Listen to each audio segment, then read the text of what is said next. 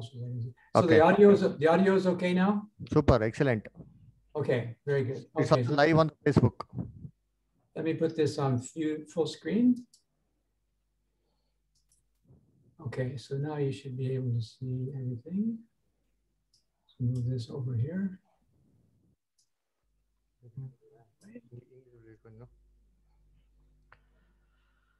Yeah, I think I should be able to. Not sure why.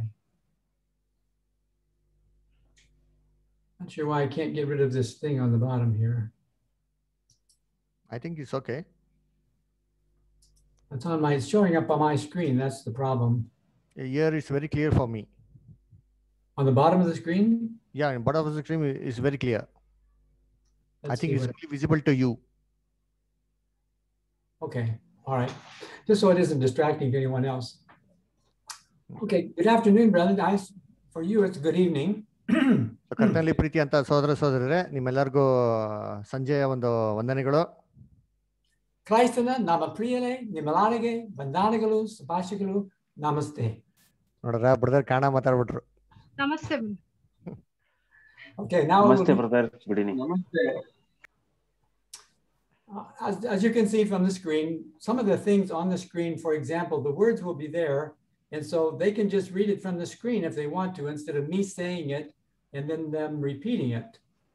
They Okay. can just, I'll, I'll put my mouse pointer beside the words and they can just read them instead of, instead of that way we don't have to go through the translation. But as you can see, the title is Memorial 2021 Deliverance.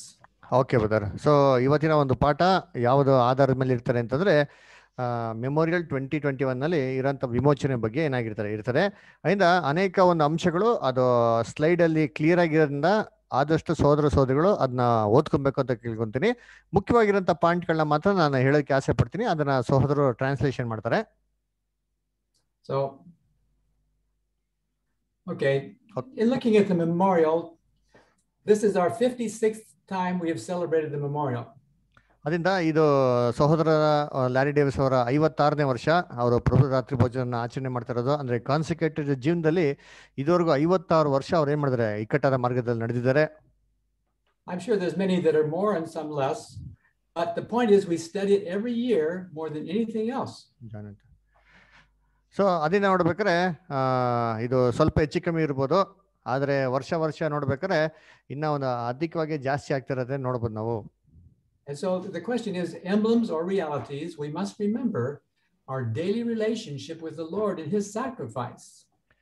ಅದರಿಂದ ಈ ಪ್ರಭು ರಾತ್ರಿ ಭೋಜನದಲ್ಲಿ ನಾವು ಮುಖ್ಯವಾಗಿ ಅದೊಂದು ಒಂದು emblem ಅಥವಾ ಒಂದು ಪ್ರಭು ರಾತ್ರಿ ಭೋಜನ ಅಂತ ರೊಟ್ಟಿ ಅಂತ ಮತ್ತೆ ಆ ಒಂದು ದ್ರಾಕ್ಷರಸ ಅಂತ ಅಂದ್ಬಿಟ್ಟು ಅದು ಸೂಚನೆಯಾಗಿ ಯೂಸ್ ಮಾಡೋಂಥದ್ದು ಮಾತ್ರ ಅಲ್ಲ ದಿನನಿತ್ಯ ಯೇಸು ಕ್ರಿಸ್ತನ ಒಂದು ತ್ಯಾಗ ಒಂದು ಮರಣದ ಬಗ್ಗೆ ನಾವು ಧ್ಯಾನ ಮಾಡೋಂಥದ್ದಾಗಿರ್ಬೇಕು But the question is, what's the end result? What's the purpose?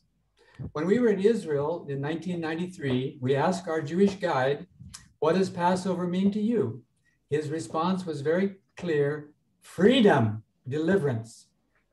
So ಅದರಿಂದ ಈ ಒಂದು ಅಂತ್ಯ ತುಂಬ ಇಂಪಾರ್ಟೆಂಟ್ ಇದರದ ಎಂಡ್ ರಿಸಲ್ಟ್ ಅಲ್ವರ ಕೊನೆಯದಾಗಿ ಏನಾಗಿದೆ ಅಂತ ಅಂದ್ಬಿಟ್ಟು ಅದು ಅರ್ಥ ಏನಾಗಿದೆ ಅಂತ ತುಂಬ ಇಂಪಾರ್ಟೆಂಟ್ ಅಲ್ವರ ಅದಕ್ಕೆ ಸಹೋದರ ಒಂದ್ಸತಿ ಇಸ್ರೇಲ್ ಅಲ್ಲಿರಂತ ಒಬ್ಬ ಯಹುದ್ದೀನ್ಗೆ ಕೇಳ್ಬೇಕಾರೆ ಪಾಸ್ ಓವರ್ ಅಂದ್ರೆ ನಿಮ್ಗೆ ಏನಪ್ಪಾ ಅಂತ ಕೇಳ್ಬೇಕಾರೆ ಆ ವ್ಯಕ್ತಿ ಕೊಟ್ಟಿರಂತ ಉತ್ತರ ಏನು ಅಂತಂದ್ರೆ ಪಾಸ್ ಓವರ್ ಅಂತಂದ್ರೆ ನಮ್ಗೆ ವಿಮೋಚನೆಯನ್ನ ಸೂಚನೆ ಮಾಡೋದಾಗಿದೆ ಅಂತ Now, this is the beautiful Passover season.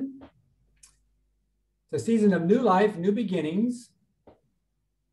ಅದರಿಂದ ಈ ಒಂದು In the winter, beautiful images, future realities.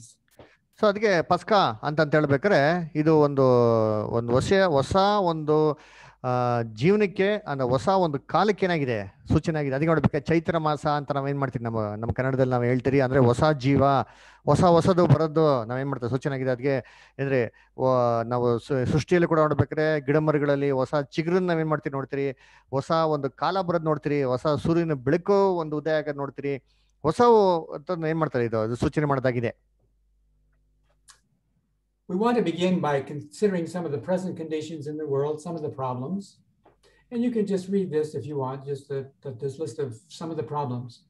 ಸರಿಂದ ಈ ಜಗತ್ತಲ್ಲಿರೋಂಥ ಅನೇಕ ಒಂದು ಪ್ರಾಬ್ಲಮ್ಗಳು ಏನಿದೆ ನಾವು ಕರೆಂಟ್ ಸಿಚುವೇಶನ್ ಕೂಡ ನಾವು ಏನ್ ಮಾಡೋಣ ಯೋಚನೆ ಮಾಡೋಣ ನೋಡೋಣ ಅದಕ್ಕೆ ನೋಡ್ಬೇಕಾದ್ರೆ ಅನೇಕ ಒಂದು ದುರಂತಗಳು ಅನೇಕ ಒಂದು ವಿಪತ್ತುಗಳು ಒಂದು ವಾತಾವರಣದಲ್ಲಿ ಅನೇಕ ಒಂದು ಬದಲಾವಣಿಕೆಗಳು ಆಮೇಲೆ ಬೆಂಕಿ ಜಳಪಳಯ ಏನ್ರಿ ಸುನಾಮಿಗಳು ಭೂಕಂಪಗಳು ಆಮೇಲೆ ಏನ್ರಿ ಆ ಒಂದು ಅನೇಕ ಒಂದು ವ್ಯಾಧಿಗಳು ಘೋರವಾಗಿರೋಂಥ ರೋಗಗಳು ಯುದ್ಧಗಳು ಟೆರರಿಸ್ಟ್ ಅಟ್ಯಾಕ್ಗಳು ಬರಗಾಲ ಬಡತನ ಇವೆಲ್ಲ ಏನಾಗಿದೆ? ನಾವು ನಾವು ಏನ್ ಮಾಡ್ತೀರಿ? ಈ ಒಂದು ಕಾಲದಲ್ಲಿ ಲೋಕದಲ್ಲಿ ಇರೋಂಥ ಅನೇಕ ಸಮಸ್ಯೆಗಳಂತ ನಾವು ನೋಡ್ತೀರಿ. And here's just a distribution of some of those natural disasters. So ಅದರಿಂದ ಇದು ಒಂದು ಸೆನ್ಸಸ್ ಪ್ರಕಾರ ಯಾವ್ದ್ಯಾವ್ದು ಎಷ್ಟೆಷ್ಟು ಮಟ್ಟಿಗಿದೆ ಅಂತ ನೋಡ್ಬೇಕಾದ್ರೆ ಜಳೆಪಳೆಯ ನಲವತ್ತು ಒಂದು ಏನಂತಾರೆ ಪರ್ಸೆಂಟಿಗಿದೆ ಬರಗಾಲ ಹನ್ನೆರಡು ಪರ್ಸೆಂಟು ಭಯಂಕರವಾದಂಥ ರೋಗಗಳು ಅದು ಹತ್ತೊಂಬತ್ತು ಪರ್ಸೆಂಟು ಭೂಕಂಪ ಏನಾಗಿದೆ ಅಂದರೆ ಹದಿನೇಳು ಪರ್ಸೆಂಟ್ ಈ ಥರ ನೋಡ್ಬೇಕಾದ್ರೆ ಅನೇಕ ವಿಧವಾದಂಥ ಬೇರೆ ಬೇರೆ ರೀತಿಯಲ್ಲಿ ಅನೇಕ ಒಂದು ಪರ್ಸೆಂಟೇಜ್ಗಳೇನಾಗಿದೆ ಅಲ್ಲಿ ಕ್ಲಿಯರ್ ಆಗಿ ಹರಡಿದೆ ಭೂಮಿಯಲ್ಲಿ Just as an example, these are some of the pictures of the same things. So ಅದೇ ತರ ನಾವು ಗೂಗಲ್ ಅಲ್ಲಿ ಸರ್ಚ್ ಮಾಡಿದ್ರು ಕೂಡ ಈ ಒಂದು ಶತಮಾನದಲ್ಲಿ ಅಥವಾ ಈ ಒಂದು ಮುಖ್ಯವಾಗಿರೋಂಥ ಕಾಲದಲ್ಲಿ ಇರೋ ಅನೇಕ ವಿಪತ್ತುಗಳು ಅಂತ ನೋಡಿದವಾಗ ಈ ಎಲ್ಲಾ ಚಿತ್ರಗಳ ಮುಂದೆ ಏನಾಗ್ತಾರೆ ಬರ್ತದೆ ಆಸ್ಟ್ರೇಲಿಯಾ ಸೊ ಅದಕ್ಕೆ ನಾವು ಆಸ್ಟ್ರೇಲಿಯಾ ಅಂತ ಯೋಚನೆ ಮಾಡ್ಬೇಕಾರೆ last year the whole the country was having fires. Almost the whole country burned up. ಅದಕ್ಕೆ ಕಳೆದ ವರ್ಷ ಆಸ್ಟ್ರೇಲಿಯಲ್ಲಿ ಅನೇಕ ಒಂದು ಎಂತರೆ ಒಂದು ತುಂಬಾ ವಿಶಾಲವಾಗಿರಂತ ಜಾಗ ಏನಾಗ್ಬಿಡ್ತು ನಾಶ ಆಗೋಯ್ತು Right now, they're having the heaviest rains that they've ever had in history, and the country is flooding. ಆದ್ರೆ ಇವಾಗ ನೋಡ್ಬೇಕ್ರೆ ಏನ್ ವಿಪರ್ಯಾಸ ಅಂತಂದ್ರೆ ಭಯಂಕರವಾಗಿರೋಂಥ ರೀತಿಯಲ್ಲಿ ಮಳೆ ಬರ್ತದೆ ಇದುವರೆಗೂ ಬರದಂತ ರೀತಿಯಲ್ಲಿ ಮಳೆ ಬರ್ತಾ ಇದೆ ಭಯಂಕರ ಫ್ಲಡ್ ಏನಾಗ್ಬಿಡಿದೆ ಆಸ್ಟ್ರೇಲಿಯಲ್ಲಿ ಶುರು ಆಗ್ಬಿಡಿದೆ But then for this year, something special, the COVID 19, an unprecedented year. So ಆದ್ರೆ ಏನಪ್ಪ ನೋಡ್ತೀರಿ ಅಂತಂದ್ರೆ ಏನ್ರಿ ಕೊರೋನಾ ಅಂತಂದ್ಬಿಟ್ಟು ಭಯಂಕರವಾಗಿರೋಂಥ ಒಂದು ಏಟ್ ಏನಾಗಿದೆ? ಒಂದು ಬಿತ್ತು. ಅದಕ್ಕೆ ನೋಡ್ಬೇಕಾದ್ರೆ ಒಂದು ಅನ್ಪ್ರೆಸಿಡೆಂಟೆಡ್ ಇಯರ್ ಆಗಿತ್ತು ನಮಗೆ. As we were talking before, this is a year when the entire world shut down. So ಅದಕ್ಕೆ ನೋಡ್ಬೇಕಾದ್ರೆ ಈ ಒಂದು ವರ್ಷದಲ್ಲಿ ಇಡೀ ಲೋಕನೇ ಇಡೀ ಜಗತ್ತೇನಾಗ್ಬಿಡ್ತು ಲಾಕ್ಡೌನ್ನಲ್ಲಿ ಇತ್ತು There have been problems before, but nothing like this. So ಇದಕ್ಕಿಂತ ಮುಂಚೆ ತೊಂದರೆ ಇರ್ಲಿಲ್ವಾ ಅಂದ್ರೆ ಇತ್ತು ಆದ್ರೆ ಈ ತರ ತೊಂದರೆ ಯಾವತ್ತು ಯಾರು ಏನ್ ಮಾಡಲಿಲ್ಲ ಎದುರು ನೋಡ್ಲಿಲ್ಲ In my 80 years, I have never experienced anything similar to this. ನಾನು ಎಂಬತ್ತು ವರ್ಷ ಭೂಲೋಕದಲ್ಲಿ ಇದ್ದೀನಿ ನಾನು ಎಂಬತ್ತು ವರ್ಷ ಭೂಲೋಕದ ಪ್ರಯಾಣದಲ್ಲಿ ಈ ತರ ಒಂದು ಒಂದು ವಿಪತ್ತು ಇದುವರೆಗೂ ನಾನು ನೋಡಿದ್ದೇ ಇಲ್ಲ affects everyone. The fear it affects everyone. So ಅದಕ್ಕೆ ನೋಡ್ಬೇಕಾದ್ರೆ ಪಡಂ ಬ್ರದರ್ It affects everyone. ಇದು ಏನಂತಾರೆ ಲೋಕ ಪ್ರತಿಯೊಬ್ಬ ಮನುಷ್ಯಗೆ ಏನಾಗಿದೆ ಎಫೆಕ್ಟ್ ಆಗಿರೋಂಥ ಒಂದು ಕಾರ್ಯ ಆಗಿದೆ Now, here's just some terms from this unprecedented year, some of the common terms. You can just read through these. ಅದಕ್ಕೆ ನೋಡ್ಬೇಕಾದ್ರೆ ಏನ್ರಿ ಈ ವರ್ಷದಲ್ಲಿ ಇರಂತ ಅನೇಕ ಒಂದು ಕಾರ್ಯಗಳು ಅದರ ಏನಾಗಿದೆ ಅಂತ ಅಂದ್ಬಿಟ್ಟು ನೋಡ್ಬೇಕಾದ್ರೆ ಏನ್ರಿ ಒಂದು ಪ್ರಿಸನರ್ಸ್ ಲಾಕ್ಡೌನ್ ಆಗಿರೋದು ಅದರ ಐಸೋಲೇಷನ್ ಅದರ ಕ್ವಾರಂಟೈನಲ್ಲಿ ಇರೋದು ಆಮೇಲೆ ನರ್ಸಿಂಗ್ ಹೋಮ್ಗಳಲ್ಲಿ ಮಾಸ್ಕ್ ಕಡ್ಡಾಯವಾಗಿ ಹಾಕೊಂಡು ಹೋಗೋದು, ಆಮೇಲೆ ಸೋಷಿಯಲ್ ಡಿಟೆನ್ ಡಿಸ್ಟೆನ್ಸ್ ಅಂತ ಮೇಂಟೈನ್ ಮಾಡೋದು ಒಬ್ರದೊಂದು ಮುಟ್ಟಂಗಿಲ್ಲ, ಅನೇಕ ಜನಗಳಿಗೆ ಕೆಲಸ ಇಲ್ಲ, ಅನೇಕ ಜನಗಳು ಆತ್ಮಹತ್ಯೆ ಮಾಡ್ಕೊಡೋದು ನೋಡ್ತೀರಿ, ಆಮೇಲೆ ಅನೇಕ ಒಂದು ಏನೇ ಒಂದು ಶವ ಸಂಸ್ಕಾರ ಕೂಡ ಮೊದಲಂತೇನೇ ಆಗಿಲ್ಲ, ಅದೆಲ್ಲ ಇಲ್ಲ ಅವೆಲ್ಲ ಏನಾಗಿದೆ ಅಂದ್ರೆ ಟೋಟಲ್ ಆಗಿ ಬದಲಾವಣೆ ಏನಾಗಿದೆ ಲೋಕದಲ್ಲಿ ಆಗಿದೆ Even the doctors and the nurses are having burnout and committing suicide. So ಅದಕ್ಕೆ ಅನೇಕ ಡಾಕ್ಟರ್ಗಳು ಕೂಡ ನರ್ಸ್ಗಳು ಕೂಡ ಇದರಲ್ಲಿ ಬೇಸತ್ತೋಗಿ ಆತ್ಮಹತ್ಯೆ ಮಾಡ್ಕೊಂಡಂತ ಕೂಡ ನಾವು ಏನ್ ಮಾಡ್ತೀರಿ? ಓದಿದಿರಿ These are just some pictures to show this. People feel like prisoners under lockdown. So ಅದಕ್ಕೆ ಇದು ಅನೇಕ ನಾವು ಚಿತ್ರದಲ್ಲಿ ನೋಡಬಹುದು ಜನಗಳಿಗೆ ಹೆಂಗಾಗ್ಬಿಟ್ಟಿದೆ ಅಂತಂದ್ರೆ ಈ ಲಾಕ್ಡೌನ್ನಲ್ಲಿ ಒಂದು ಸೆರೆ ಮೇಲೆ ಇರೋಂಥ ಕೈದಿಗಳ ತರ ಆಗ್ಬಿಟ್ಟಿದೆ ಅವ್ರಿಗೆ. In the cities, no traffic ನಗರಗಳಲ್ಲಿ traffic ಇಲ್ದಿರೋದು. Social distancing pandemic, nobody on the streets. ರೋಡಲ್ಲಿ ಒಬ್ಬ ವ್ಯಕ್ತಿ ಕೂಡ ಇಲ್ದಿರೋದು ಎಲ್ಲ ದೂರ ದೂರ ಇರೋದು ಒಬ್ರಿಗೊಬ್ರಿಗೆ ಒಂದು ಏನಂತಾರೆ ಒಂದು ಕಾಂಟ್ಯಾಕ್ಟ್ ಇಲ್ದಿರೋಂಥ ರೀತಿಲಿ ಏನಾಗಿದೆ ಇದೆ ರಿಸ್ಟ್ರಿಕ್ಷನ್ಸ್ ಎವ್ರಿವೇರ್ ಸೊ ಎಲ್ಲ ಕಡೆ ಅಂತಾರೆ ಒಂದು ರಿಸ್ಟ್ರಿಕ್ಷನ್ಸ್ ಇರೋದು ನೋಡ್ತೀರಿ People locked in their apartments, unable to come out of their apartments. ಅವ್ರವ್ರ ಮನೆಗಳಲ್ಲಿ ಅವ್ರವರೇ ಅಂತಾರೆ ಲಾಕ್ಡೌನ್ ಆಗಿರೋದು ನೋಡ್ತೀರಿ ಒಬ್ರು ಕೂಡ ಹೊರಗಡೆ ಬರ್ದಿರೋಂಥ ಒಂದು ಸನ್ನಿವೇಶಗಳು ನೋಡಿದ್ರಿ ನಾವು Imagine those in nursing homes. So ಅದಕ್ಕೆ ನೋಡ್ಬೇಕಾದ್ರೆ ನರ್ಸಿಂಗ್ ಹೋಮ್ ಅಲ್ಲಿರೋ ಬಗ್ಗೆ ನೀವು ಸ್ವಲ್ಪ ಚಿಂತೆ ಮಾಡಿ ನೋಡಿ. Quarantine, isolation, ಅದರ unable, unable to see or touch your loved ones. Quarantine ಆಗಿರೋದು ಐಸೋಲೇಷನ್ ಇರೋದು ನಮ್ಮ ಪ್ರೀತಿ ಮಾಡೋರ್ನ ಕೂಡ ನಾವು ಮುಟ್ಟೇರಂತ ಒಂದು ಸಿಚುವೇಶನ್ಗಳನ್ನ ಏನ್ ಮಾಡಿದ್ರಿ ನಾವು ನೋಡಿದಿರಿ. Unable to see your grandchildren, to touch them, to say goodbye. So ತಮ್ಮ ಮೊಮ್ಮಕ್ಕಳುಗಳನ್ನ ಅನೇಕ ಜನಗಳು ನೋಡಕ್ ಆಗದಿರಂತ ಒಂದು ಸನ್ನಿವೇಶ ಅವ್ರನ್ನ ಮುದ್ದಾಡಕ್ಕಾಗ್ಲಿ ಅಥವಾ ಮುಟ್ಟೋದಕ್ಕೂ ಕೂಡ ಏನಾಗಿಲ್ಲ. ಒಂದು ಕೆಲವು ಜನಕ್ಕೆ ಅವಕಾಶ ಕೂಡ ಆಗಿಲ್ಲ Unprecedented. ಇವೆಲ್ಲ ಬಂದ್ಬಿಟ್ಟು ಎದುರು ನೋಡದಿರಂತ ಒಂದು ವಿಪತ್ತುಗಳು No time for funerals, just mass graves. So ಅದಕ್ಕೆ ನೋಡ್ಬೇಕು Iraq, Iraq, New York City. This is Brazil. So ಅದಕ್ಕೆ ನೋಡ್ಬೇಕಾದ್ರೆ ಸಮಾಧಿ ಶವ ಸಂಸ್ಕಾರ ಕೂಡ ಮೊದಲಂತ ಏನಾಗಿಲ್ಲ ಇಲ್ಲ ಏನಾಗಿದೆ ಅಂದ್ರೆ ಇವಾಗ ಶವ ಸಂಸ್ಕಾರ ಎಂದರೆ ಮಾಸ್ ಬರೆಯಲಾಗ್ಬಿಟ್ಟಿದೆ. ಅಲ್ವರ? ಇರಾನ್ನಲ್ಲಿ ಇರಾಕಲ್ಲಿ ಇವನ್ ನ್ಯೂಯಾರ್ಕಲ್ಲಿ ಕೂಡ ನೋಡ್ಬೇಕಾದ್ರೆ ಮಾಸ್ ಬರೆಯಲು ಏನು ಮಾಡ್ತಿದ್ದಾರೆ ಮಾಡೋದನ್ನ ನೋಡ್ತೀರಿ. ಇದು ಕೂಡ ಏನ್ರಿ? ಎದುರು ನೋಡಿದಂತ ಒಂದು ಕಾರ್ಯ ಆಗಿದೆ. This discourse was prepared in February of 2020 so ಈ ಒಂದು ನಾನು ಒಂದು ಸಂದೇಶನ ಫೆಬ್ರವರಿ ಇಪ್ಪತ್ತು ಇಪ್ಪತ್ತರಲ್ಲಿ ನಾನು ತಯಾರು ಮಾಡಿದ್ದೆ. And at that time, these were the statistics. So ಆ ಟೈಮಲ್ಲಿ ಏನಪ್ಪ ಕೊರೋನಾದ ಸ್ಟಾಟಿಸ್ಟಿಕ್ಸ್ ಈ ತರ ಇತ್ತು So I, this is now exactly one year later, and here it's uh, these statistics 112 million, two and a half million deaths. So ಅದಕ್ಕೆ ಇವತ್ತು ಒಂದು ವರ್ಷ ಆಗಿದೆ ಒಂದು ವರ್ಷ ಆಗಿದ್ಮೇಲೆ ಇವತ್ತು ನೋಡ್ಬೇಕಾದ್ರೆ ಏನ್ರಿ ಈ ಕೊರೋನಾದ ಎಫೆಕ್ಟ್ ಹೆಂಗಿದೆ ಅಂದ್ರೆ ನೂರ ಹನ್ನೆರಡು ಮಿಲಿಯನ್ ಜನಗಳಿಗೆ ಏನಾಗಿದೆ ಅಲ್ಲಿ? ಎಫೆಕ್ಟ್ ಆಗಿದೆ. ಟೂ ಪಾಯಿಂಟ್ ಫೈವ್ ಮಿಲಿಯನ್ ಜನಗಳು ಏನಾಗಿದ್ದಾರೆ ಅಲ್ಲಿ? ತನ್ನ ಮರಣನ ಹೊಂದಿದ್ದಾರೆ. All from this little virus that you cannot even see. ಅದು ಯಾವ್ದ್ರಿಂದ ಆಯ್ತು ಅಂತ ನೋಡ್ಬೇಕಾದ್ರೆ ಒಂದು ಚಿಕ್ಕದಾಗಿರೋಂಥ ಒಂದು ವೈರಸ್ ಕಣ್ಣಿಗೆ ಕಾಣಿಸ್ತಿರೋಂಥ ಒಂದು ವೈರಸ್ ಇಂದ ಇಷ್ಟೊಂದು ಏನಾಗಿದೆ? ತೊಂದರೆಗಳಾಗಿದೆ. Now, it's not the only cause of death. For example, if we see here, just you can look at these. HIV, 36 million. So ಅದಕ್ಕೆ ಇದು ಮಾತ್ರ ಮರಣಕ್ಕೆ ಕಾರಣ ಅಲ್ಲ ಇದಕ್ಕಿಂತ ಮುಂಚೆ ಬೇರೆ ಬೇರೆಗಳ ಕಾಯಿಲೆಗಳು ಬಂದಿದೆ. ಹಲವಾರು ರೀತಿಗಳ ಜಗಳ ಏನಿದೆ ಮರಣ ಹೊಂದಿದ್ದಾರೆ. ಉದಾಹರಣೆಗೆ ನೋಡ್ಬೇಕಾದ್ರೆ ಸಾವಿರದ ಒಂಬೈನೂರ ಎಪ್ಪತ್ತಾರನೇ ಇಸ್ವಿಯಲ್ಲಿ ಏಡ್ಸ್ ಎಂಬತ್ತ ಒಂದು ರೋಗದಿಂದ ಮೂವತ್ತಾರು ಮಿಲಿಯನ್ ಜನಗಳು ಇದುವರೆಗೆ ಏನಾಗಿದ್ದಾರೆ? ಮರಣ ಹೊಂದಿದ್ದಾರೆ.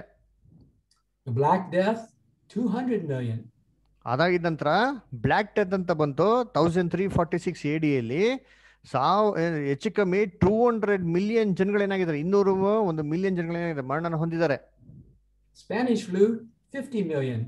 Spanish flu ಅಂತ ಬಂತು ಸಾವಿರದ ಒಂಬೈನೂರ ಹದಿನೆಂಟನೇ ಇಸ್ವಿಯಲ್ಲಿ ಅದರ ಐವತ್ತು ಮಿಲಿಯನ್ ಜನಗಳೇನಾಗಿದ್ದಾರೆ ಅಲ್ಲಿ ಮರಣ ಹೊಂದಿದ್ದಾರೆ And again, none of the conditions like today. And if we look at the uh, just the annual deaths from the regular flu, you have 500,000 to 100,000 to a million every year, just regular flu. So ಸಾಮಾನ್ಯ ಈ ಮರಣದ ಒಂದು census ನಾವು ನೋಡ್ದ ಅಂತಂದ್ರೆ ಸಾಮಾನ್ಯವಾಗಿರೋಂಥ flu ಇಂದಾನೆ ವರ್ಷಕ್ಕೆ ಐದು ಲಕ್ಷದಿಂದ ಹತ್ತು ಲಕ್ಷ ಜನಗಳು ಏನಂತಾರೆ ಮರಣ ಹೊಂದ ನಾವು ನೋಡ್ತಾ ಇದ್ದೀರಿ US 2018, 80,000 people died just from the regular flu. ಅಮೆರಿಕದಲ್ಲೇ ಬರೀ ಒಂದು ಫ್ಲೂ ಇಂದಾನೆ ಎರಡ್ ಸಾವಿರದ ಹದಿನೆಂಟು ಇಸ್ವಿಯಲ್ಲಿ ಎಂಬತ್ತು ಸಾವಿರ ಜನಗಳು ಮರಣ ಹೊಂದಿದ್ದಾರೆ The tsunami in 2004 killed 200,000 230,000 people just in one or two days. Tsunami ಕೇವಲ ಏನ್ರಿ ಎರಡ್ ಸಾವಿರದ ನಾಲ್ಕಲ್ಲಿ ಬಂದಿದ್ದು ಎರಡೇ ದಿನದಲ್ಲಿ ಏನ್ರಿ ಎರಡು ಲಕ್ಷದ ಮೂವತ್ತು ಸಾವಿರ ಜನಕ್ಕಿಂತ ಮೇಲ್ಪಟ್ಟ ಜನಗಳು ಏನ್ ಮಾಡಿದ್ರು? ಅಲ್ಲಿ ಮೃತ್ಯು ಹೊಂದರು. ಅದಕ್ಕೆ ಇಂಡಿಯಾ. ಅದಕ್ಕೆ ಇಂಡಿಯಾಲಿ ಎಷ್ಟೋ ಲಕ್ಷಾಂತರ ಜನಗಳು ಏನ್ ಮಾಡಿದ್ರು? ಅವ್ರ ಪಣ ಕಲ್ತ್ಕೊಂಡ್ರು Wars over the last 100 years, 200 million. ಕಳೆದ ನೂರು ವರ್ಷದಲ್ಲಿ ಯುದ್ಧಗಳಲ್ಲೇ ಟೂ ಹಂಡ್ರೆಡ್ ಮಿಲಿಯನ್ಗಿಂತ ಅಧಿಕವಾಗಿರೋ ಜನಗಳೇ ಮಾಡಿದ್ರು? ಮರಣ ಹೊಂದಿದ್ದಾರೆ. This reminds us of our Lord's prophecy. I'm sure you've all considered this Luke 21, 25 through 26. ಅದರಿಂದ ಇದೆಲ್ಲ ನಮ್ಗೆ ಏನಪ್ಪ ನಮ್ಗೆ ಜ್ಞಾಪಕ ಬರ್ತಾ ಅಂದ್ರೆ ಯೇಸು ಕ್ರಿಸ್ತ ಅಂತ ಪ್ರವಾದನೆ ಮಾತು ಲೋಕ ಇಪ್ಪತ್ತೊಂದನೇ ಅಧ್ಯಾಯ ಇಪ್ಪತ್ತೈದರಿಂದ ಇಪ್ಪತ್ತಾರನೇ ವಚನದ ಹೇಳಂತ ರೀತಿಯಲ್ಲಿ There he says two things the distress of nations with perplexity, no Yep. way out, and fear. Well, I'm looking after the things that are coming upon the world for fear for what is coming on in the world. It's fear and no way out. ಇದು ಜಗತ್ ಮೇಲೆ ಯಾವ ತರ ಪ್ರಭಾವ ಬೀಳ್ತಾ ಇದೆ ಅಂದ್ರೆ ಅವಚನ ವಚನ ಅಂತ ಹೇಳಂತ ರೀತಿಯಲ್ಲಿ ಏನ್ರಿ ಜನಗಳಿಗೆ ದಿಕ್ಕು ಕಾಣದೆ ಸಂಕಟವು ಉಂಟಾಗುವುದು ಅಂತ ಹೇಳ್ತಾರಲ್ಲ ಅದರಿಂದ ಜನಗಳು ದಿಕ್ಕು ಕಾಣದೆ ಸಂಕಟಗಳು ಅಂತ ಉಂಟಾಗಂತ ಒಂದು ಸನ್ನಿವೇಶ ಏನ್ ಮಾಡಿದ್ವಿ ನಾವು ನಾವು ನೋಡಿದಿರಿ. And if we look at the major elements of society government, environment, religion, financial, social, and personal so ಅದಕ್ಕೆ ಏನಪ್ಪ ಮೇಜರ್ ಅಂತ ನೋಡೋದಂದ್ರೆ ಭಯ ಯಾವ ಒಂದು ಇದರಲ್ಲಿ ಭಯ ಅಂತಂದ್ರೆ ಸಮಾಜದಲ್ಲಿ ಅಂತ ಗೌರ್ಮೆಂಟು ವಾತಾವರಣ ಧಾರ್ಮಿಕ ಅಲ್ವರ ಆಮೇಲೆ ಹಣಕಾಸಿನ ವಿಚಾರ ಸಮಾಜ ಮತ್ತೆ ಸ್ವಂತ ವಿಚಾರಗಳಲ್ಲಿ ಏನಾಗಿದೆ ಅಂದ್ರೆ ಜನಗಳಿಗೆ ಇವಾಗ ಭಯ ಏನಾಗಿದೆ ಅಲ್ಲಿ ಅಲ್ಲಿ ಶುರು ಆಗಿದೆ what do we see? People groaning and travailing in pain. So ಆದ್ರೆ ಜನಗಳು ನಾವೇನ್ ನೋಡ್ತೀವಿ ಸನ್ನಿವೇಶಗಳಂದ್ರೆ ಕಷ್ಟ ಸಂಕಟದಲ್ಲಿ ವೇದನೆಯಲ್ಲಿ ಹಿಂಸೆ ಪಡೋದನ್ನ ನೋಡ್ತೀರಿ under bondage sin and death. ಯಾಕೆ ಅಂತಂದ್ರೆ ಅವರೆಲ್ಲ ಏನಾಗಿದ್ದಾರೆ ಅಂತಂದ್ರೆ ಏನ್ರಿ ಒಂದು ಮರಣಕ್ಕೆ ಏನಾಗಿದ್ದಾರೆ ಒಂದು ದಾಸತ್ವದಲ್ಲಿದ್ದಾರೆ So that is mankind today under bondage of sin and death. So ಇವತ್ತು ಮನುಷ್ಯನ ಒಂದು ಸ್ಥಿತಿಗತಿಗಳು ಆ ಥರನೇ ಇರೋದು ಅಲ್ವರ ಅವರೆಲ್ಲ ಬಂದ್ಬಿಟ್ಟು ಮರಣಕ್ಕೆ ಒಂದು ಪಾಪಕ್ಕೆ ಏನಾಗಿದ್ದಾರೆ ಸೆರೆಯಲ್ಲಿ ಸಿಗಾಕೊಂಡಿದ್ದಾರೆ But disasters prepare men's hearts for Luke 21 28. ಆದರೆ ಈ ಒಂದು ವಿಪತ್ತುಗಳು ಮನುಷ್ಯನ ಹೃದಯದ ಒಂದು ಸ್ಥಿತಿಗತಿನ ತಯಾರು ಮಾಡ್ತಾ ಇದೆ ಏನಕ್ಕಾಗಿ ಅಂತಂದ್ರೆ ವಿಮೋಚನೆಗಾಗಿ ಲುಕ ಇಪ್ಪತ್ತೊಂದು ಇಪ್ಪತ್ತೆಂಟರಲ್ಲಿ ಹೇಳೋಂಥ ರೀತಿಯಲ್ಲಿ When you see these things come to pass, then lift up your heads and rejoice because your deliverance draws near. ಅದರಿಂದ ಆ ಇವು ಸಂಭವಿಸೋದಕ್ಕೆ ತೊಡಗುವಾಗ ಮೇಲಕ್ಕೆ ನೋಡಿರಿ ನಿಮ್ಮ ತಲೆಗಳನ್ನು ಎತ್ತಿರಿ ನಿಮ್ಮ ಬಿಡುಗಡೆಯು ಸಮೀಪವಾಗಿದೆ ಎಂದ ಹೇಳೋ ರೀತಿಯಲ್ಲಿ ಇದೆಲ್ಲ ಬಿಡುಗಡೆಗೇನಾಗಿದೆ ಸೂಚನೆ ಆಗಿದೆ But not just for the church, because the deliverance of the church means the deliverance of all mankind. ಅದರಿಂದ ಇದು ಸಭೆಗೆ ಮಾತ್ರ ಬಿಡುಗಡೆ ಅಲ್ಲ ಸಭೆ ಬಿಡುಗಡೆ ಆಗಿದ ನಂತರ ಇಡೀ ಲೋಕ ಜನಗಳಿಗೆ ಏನಾಗಿದೆ ನೆಕ್ಸ್ಟ್ ಬಿಡುಗಡೆನ ಸೂಚನೆ ಆಗಿದೆ The deliverance from sins. ಅದರಿಂದ ಪಾಪದಿಂದ ಕೂಡ ಏನಾಗಿದೆ ಇದು ಇದು ಬಿಡುಗಡೆ ಆಗಿದೆ But I want you to think about this last part here. We'll go through it. In 1914, the population of the earth was one and a half billion. So ಅದರಿಂದ ಸಾವಿರದ ಒಂಬೈನೂರ ಹದಿನಾಲ್ಕನೇ ಇಸ್ವಿಯಲ್ಲಿ ಈ ಲೋಕದ ಜನಸಂಖ್ಯೆ ಎಷ್ಟಪ್ಪ ಇತ್ತು ಅಂದ್ರೆ ಒನ್ ಪಾಯಿಂಟ್ ಫೈವ್ ಬಿಲಿಯನ್ ಇತ್ತು Today, 8 billion. ಇವತ್ತು ಏಟ್ ಬಿಲಿಯನ್ ಆಗಿದೆ Si- That's six and a half billion people more. ಅದರಿಂದ ಎಷ್ಟಪ್ಪ ಜಾಸ್ತಿ ಆಗಿದ್ದಾರೆ ಅಂತ ನೋಡಿದ್ರೆ ಸಿಕ್ಸ್ ಪಾಯಿಂಟ್ ಫೈವ್ ಬಿಲಿಯನ್ ಜನಸಂಖ್ಯೆನಾಗಿದೆ ಜಾಸ್ತಿ ಆಗಿದೆ If the church was complete in 1914, ಸಾವಿರದ ಒಂಬೈನೂರ ಹದಿನಾಲ್ಕನೇ ಇಸ್ವಿಯಲ್ಲಿ ಸಭೆ ಕಂಪ್ಲೀಟ್ ಆಗ್ಬಿಟ್ಟಿದ್ರೆ none of those six and a half billion people would have ever been born. ಅವಾಗ ಏನಪ್ಪ ಆಗ್ತಾ ಇತ್ತು ಅಂದ್ರೆ ಈ ಸಿಕ್ಸ್ ಪಾಯಿಂಟ್ ಫೈವ್ ಬಿಲಿಯನ್ ಜನಗಳು ಲೋಕದಲ್ಲಿ ಹುಟ್ಟೋದಕ್ಕೆ ಅವಕಾಶನೇ ಆಗ್ತಾ ಇರಲಿಲ್ಲ and many more. ಆಮೇಲೆ You and ಇತರ I would ಜನಗಳು ಕೂಡ never have been ಹುಟ್ಟೋದಕ್ಕೆ born. ಅವಕಾಶ ಆಗ್ತಾ ಇರಲ್ಲ You and I would never have been born. ನಾವು ನೀವು ಏನಾಗ್ತಾ ಇಲ್ಲ ಖಂಡಿತವಾಗೋ ಹುಟ್ಟೋದಕ್ಕೆ ಆಗ್ತಾನೆ ಇರಲಿಲ್ಲ 360,000 children are born every day. ಅದರಿಂದ ನೋಡ್ಬೇಕಾರೆ ಮೂ ಮುನ್ನೂರ ಅರವತ್ತು ಸಾವಿರ ಮಕ್ಕಳುಗಳು ದಿನ ಏನ್ ಮಾಡ್ತಾರೆ ಜನ್ಮನ ತಗೊಂತಾ ಇದಾರೆ every day. ಅದು ಪ್ರತಿನಿತ್ಯ ಆಗ್ತಾ ಇದೆ Every 10 days, 3 and a half million people are born. So ಇದು ಪ್ರತಿನಿತ್ಯ ಆಗ್ತಾ ಇದೆ ಪ್ರತಿ ಹತ್ತು ದಿವಸಕ್ಕೆ ಏನಾಗ್ತದೆ ಈ ತರ ಒಂದು ಕೌಂಟ್ ಬರ್ತಾ ಇದೆ Every one of them is guaranteed an opportunity to choose to live forever in a perfect earth. ಅದರಿಂದ ಪ್ರತಿಯೊಬ್ಬ ಈ ಹುಟ್ಟಿರಂತ ಪ್ರತಿಯೊಬ್ಬ ವ್ಯಕ್ತಿಗೂ ಏನ್ರಿ ಪರಿಪೂರ್ಣ ಅಂತ ಭೂಮಿಯಲ್ಲಿ ಬಾಳೋದಕ್ಕೆ ಒಂದು ಅವಕಾಶ ಏನಾಗ್ತಾರೆ ಸಿಕ್ಕೇ ಸಿಗ್ತದೆ So we pray for the kingdom, but when the Lord wants the kingdom, and we rejoice in all these billions and people, thousands that are born every day. ಅದರಿಂದ ನಮ್ಗೆ ಒಂದು ಸಂತೋಷ ಏನಂತಂದ್ರೆ ಪ್ರತಿಯೊಬ್ಬ ಮನುಷ್ಯರಿಗೂ ದೇವರ ಆಶೀರ್ವಾದ ಏನಾಗ್ತಾರೆ ದೇವರಾಜದಲ್ಲಿ ತಲುಪ್ತಾರೆ ಅಂತ Okay. Now we want to say, why do we have problems? So ಇವಾಗ ನಾವೇನ್ ನೋಡೋಣ? ಯಾಕೆ ಈ ಒಂದು ತೊಂದರೆಗಳು ಅಂತ ನೋಡೋಣ. We want to use the Passover memorial to trace history and look at the big picture of where we are today. ಅದರಿಂದ ನಾವೇನ್ ಮಾಡೋಣ? ಪಸ್ಕ ಮತ್ತೆ ಪಸ್ಕದ ಒಂದು ನೆನಪನ್ನ ನಾವೇನ್ ಮಾಡೋಣ? ನಾವು ಹಿಂದೆ ಇತಿಹಾಸದಲ್ಲಿ ತೆಗೆದು ನೋಡೋಣ. ಅದರಿಂದ ನಮಗೆ ಒಂದು ವಿಶಾಲವಾಗಿರೋಂಥ ಒಂದು ಚಿತ್ರೀಕರಣ ನಮ್ಗೆ ಏನಾಗ್ತದೆ? ಒಂದು ಡೀಟೇಲ್ಸ್ ನಮ್ಗೆ ಏನಾಗ್ತದೆ? ಸಿಗ್ತದೆ. Okay, we, we have to travel back in time to a time that God was all alone. So ಅದಕ್ಕೆ ನಾವು ಏನ್ ಮಾಡೋದು ನಮ್ಮ ಕಾಲದಲ್ಲಿ ಹಿಂದಕ್ಕೆ ಏನು ಹೋಗಿ ನೋಡೋಣ ಹಿಂದಕ್ಕೆ ಹೋಗಿ ನೋಡೋಣ ಅಂತಂದ್ರೆ ಪರಲೋಕದಲ್ಲಿ ತಂದೆಯ ದೇವರು ಒಬ್ಬರೇ ಏನಾಗಿದ್ರು ವಾಸ ಮಾಡ್ತಾ ಇದ್ರು Before the beginning of any, before the creation of anything.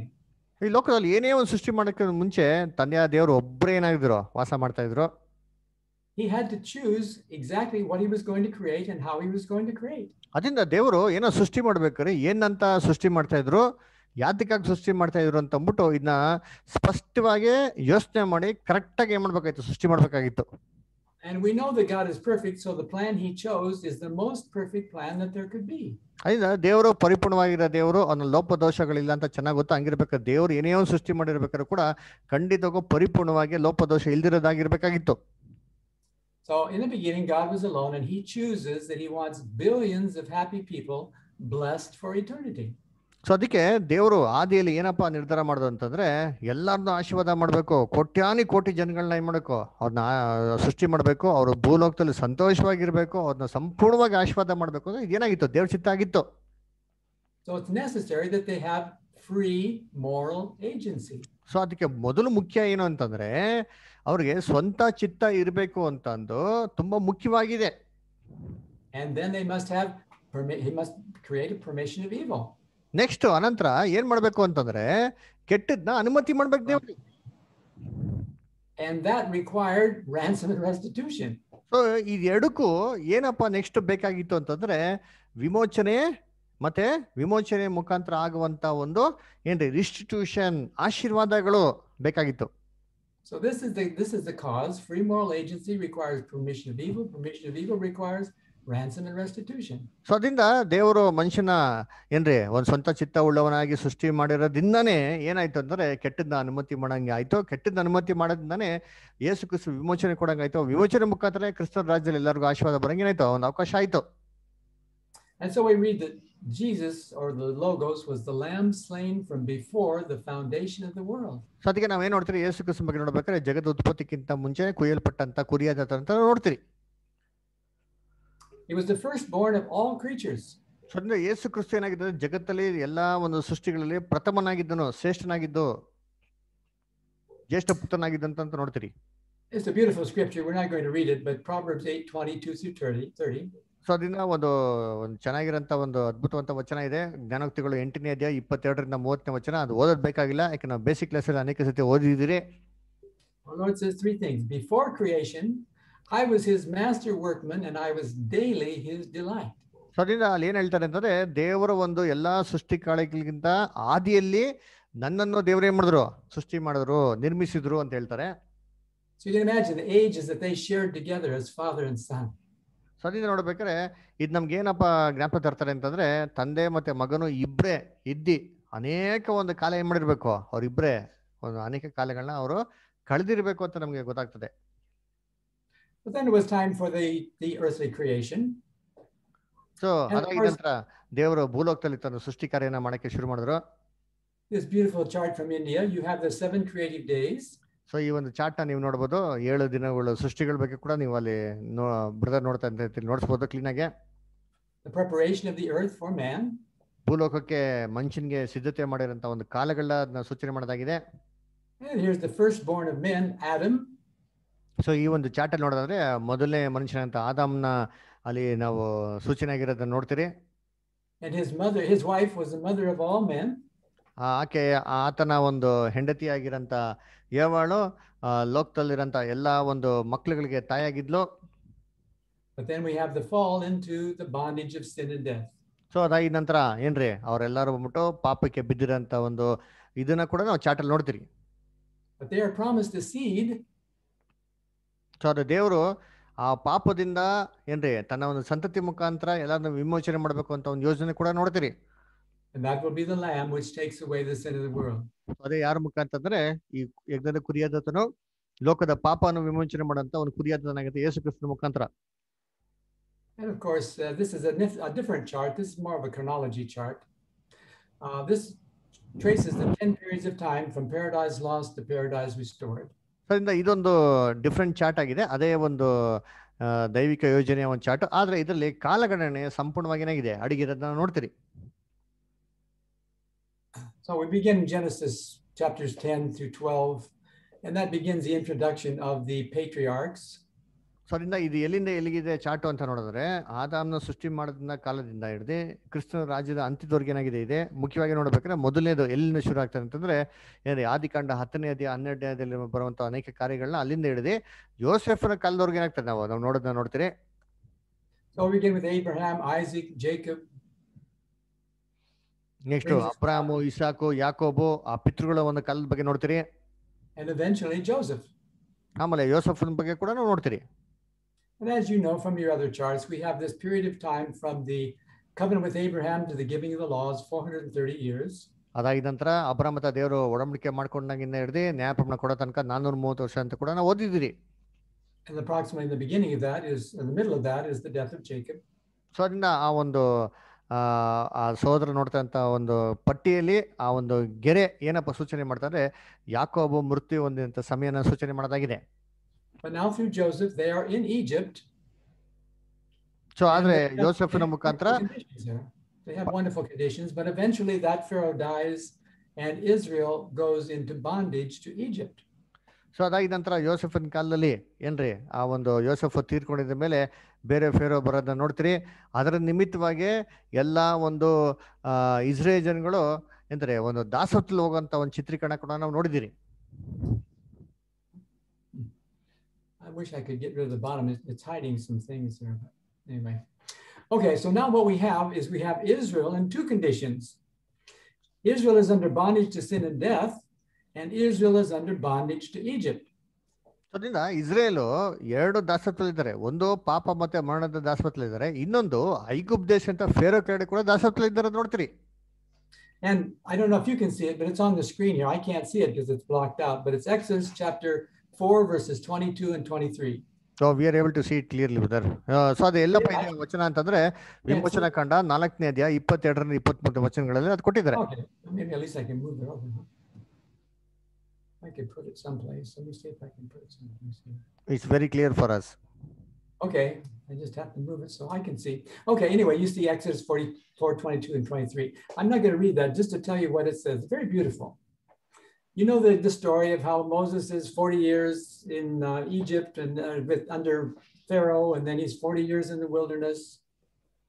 So ಇದು ಏನಪ್ಪ ಇದೆ ಅಂತಂದ್ರೆ ನಮಗೆ ಚೆನ್ನಾಗಿ ಗೊತ್ತು ಮೋಸೆ ಬಂದ್ಬಿಟ್ಟು ನಲ್ವತ್ತು ವರ್ಷ ಐಗುಪ್ ದೇಶದಲ್ಲಿ ಏನ್ರಿ ಆ, ಜನ್ಮ ತಗೊಂಡಿದ ನಂತರ ಇರೋಂಥ ಒಂದು ಸಮಯದ ಬಗ್ಗೆ ಓದಿದ್ರಿ ಅದಾಗಿದ ನಂತರ ಇನ್ನು ನಲ್ವತ್ತು ವರ್ಷ ಅವ್ರು ಏನ್ ಮಾಡ್ತಾರೆ ಮಿದ್ಯಾನ್ ದೇಶದಲ್ಲಿ ಒಂದು ಕುರುಬನಾಗಿ ಕೆಲಸ ಮಾಡ್ತಿರೋದ್ ಬಗ್ಗೆ ಕೂಡ ಓದಿದಿರಿ And so at 80 years of age, it leads us to this point where God is ready to deal with I- Israel and lead them out. So ಅದರಿಂದ ಈ ಒಂದು ಲೈನ್ ಸಹೋದರ ನೋಡ್ಸಂತ ಲೈನ್ ಏನಪ್ಪ ಸೂಚನೆ ಮಾಡ್ತಾರೆ ಅಂತಂದ್ರೆ ಅವರು ಏನ್ರಿ ಐಗುಪ್ ದೇಶಕ್ಕೆ ಬಿಡುಗಡೆ ಮಾಡಕ್ಕೆ ಜನಗಳನ್ನ ಬಿಡುಗಡೆ ಮಾಡಕ್ಕೆ ಬಂದಿರೋಂಥ ಒಂದು ಸಮಯನ ಏನ್ ಮಾಡ್ತಾರೆ ಸೂಚನೆ ಮಾಡ್ತದೆ God goes to Moses, God talks to Moses, and he says, Go tell Pharaoh, Israel is my firstborn son. Let my firstborn son go, or I will kill your firstborn son. ಅದರಿಂದ ದೇವರು ಮೋಸೆಗೆ ಏನು ಹೇಳೋದು ನೋಡ್ತೀನಿ ಅಂದ್ರೆ ನೀನು foreign ಹತ್ರ ಹೋಗಿ ಹೇಳು ಇಸ್ರೇಲು ನನ್ನ ಚೊಚ್ಚಲ ಮಗನು ಅವನ್ನ ನೀನು ಬಿಟ್ಬಿಡು ಇಲ್ಲ ಅಂತಾರೆ ನಾನು ನಿನ್ನ ಚಿಚ್ಚ ಚೊಚ್ಚಲ ಮಗಳನ್ನ ಏನ್ ಮಾಡ್ತೀನಿ ವಧಿಸ್ತೀನಿ ಅಂತ ಹೇಳೋದನ್ನ ನೋಡ್ತೀರಿ ಅಲ್ಲಿ Okay, this is another one of your charts, which beautifully shows the same periods of time. There's the years before and after Jacob, and then the Exodus and so forth. So ಅದಾಗಿ ನಂತರ ಇನ್ನೊಂದು chart ಕೂಡ ನೋಡಬಹುದು ಇದು ಅನೇಕ ಸಹೋದರಗಳು ಸೇರಿ ಮಾಡಿದಂತ ಒಂದು ಚಾರ್ಟ್ ಇದು ಕಲರ್ಫುಲ್ ಆಗಿರೋಂಥ ಚಾಟು ಸೇಮ್ ಅದೇ ಸಮಯಗಳನ್ನ ಇಲ್ಲಿ ಕಲರ್ ಕಲರ್ ಆಗಿ ನೋಡ್ತಿರೋದು ನೋಡ್ತೀರಿ And the same thing is shown in this area on this chart. Actually, here you would have here you would have the death of Jacob. So ಅದಕ್ಕೆ ನೋಡ್ಬೇಕಾದ್ರೆ ಈ ಒಂದು ಸಹೋದರ ನೋಡಿದಂತ ಒಂದು ಪಾಯಿಂಟ್ ಅಲ್ಲಿ ಏನಾಗಿರೋದು ಯಾಕೋಬಿನ ಮೃತ್ಯು ಹೊಂದಿರೋದನ್ನ ನೋಡ್ತೀರಿ Okay, so that brings up the Passover. So ಅದಕ್ಕೆ ನಾವು ಇವಾಗ ಎಲ್ಲಪ್ಪ ಬರ್ತೀರಿ ಅಂತಂದ್ರೆ ಪಸ್ಕಾಗೆ ಬಂದ್ಬಿಡೋಣ ಸೀದಾ. ಪಸ್ಕಾ ಸಮಯಕ್ಕೆ ಬರ್ತೀರಿ. God wants his people to come out of Egypt. ದೇವರು ತನ್ನ ಒಂದು ಮಕ್ಕಳಿಗೆಲ್ಲ ಐಗುಪ್ ದೇಶನ ಬಿಟ್ಟು ಏನ್ರಿ ಕನಾನ್ ದೇಶಕ್ಕೆ ಬರಬೇಕು ಅಂತ ದೇವರು ಮನ್ಸಿತ್ತು. And you know the story of the Passover. ಅದಕ್ಕೆ ಪಸ್ಕಾದ ಕತೆ ನಮ್ಗೆ ಚೆನ್ನಾಗಿ ಗೊತ್ತಿದೆ. They have to kill a lamb, ಅವ್ರು ಏನ್ ಒಂದು ಕುರಿಮರಿನ ಕಡಿಬೇಕಾಗಿತ್ತು. Put his blood on the doorposts and littles of their house, ಆ ಒಂದು ರಕ್ತನ ಆ ಮನೆಯ ಒಂದು ಬಾಗಿಲ ಒಂದು ನಿಲ್ವಂಗ ಕಂಬದ ಮೇಲೆ ಹಾಕಬೇಕಾಗಿತ್ತು. Eat it with unleavened bread and, and bitter herbs, ಅದನ್ನ ಒಂದು ಹುಳಿ ಇಲ್ದಿರಂತ ರೊಟ್ಟಿ ಮತ್ತೆ ಕಹಿಯಾದ ಸೊಪ್ಪುಗಳ ಜೊತೆಗೆ ತಿನ್ಬೇಕಾಗಿತ್ತು. And through this lamb, the firstborn would be delivered in the night.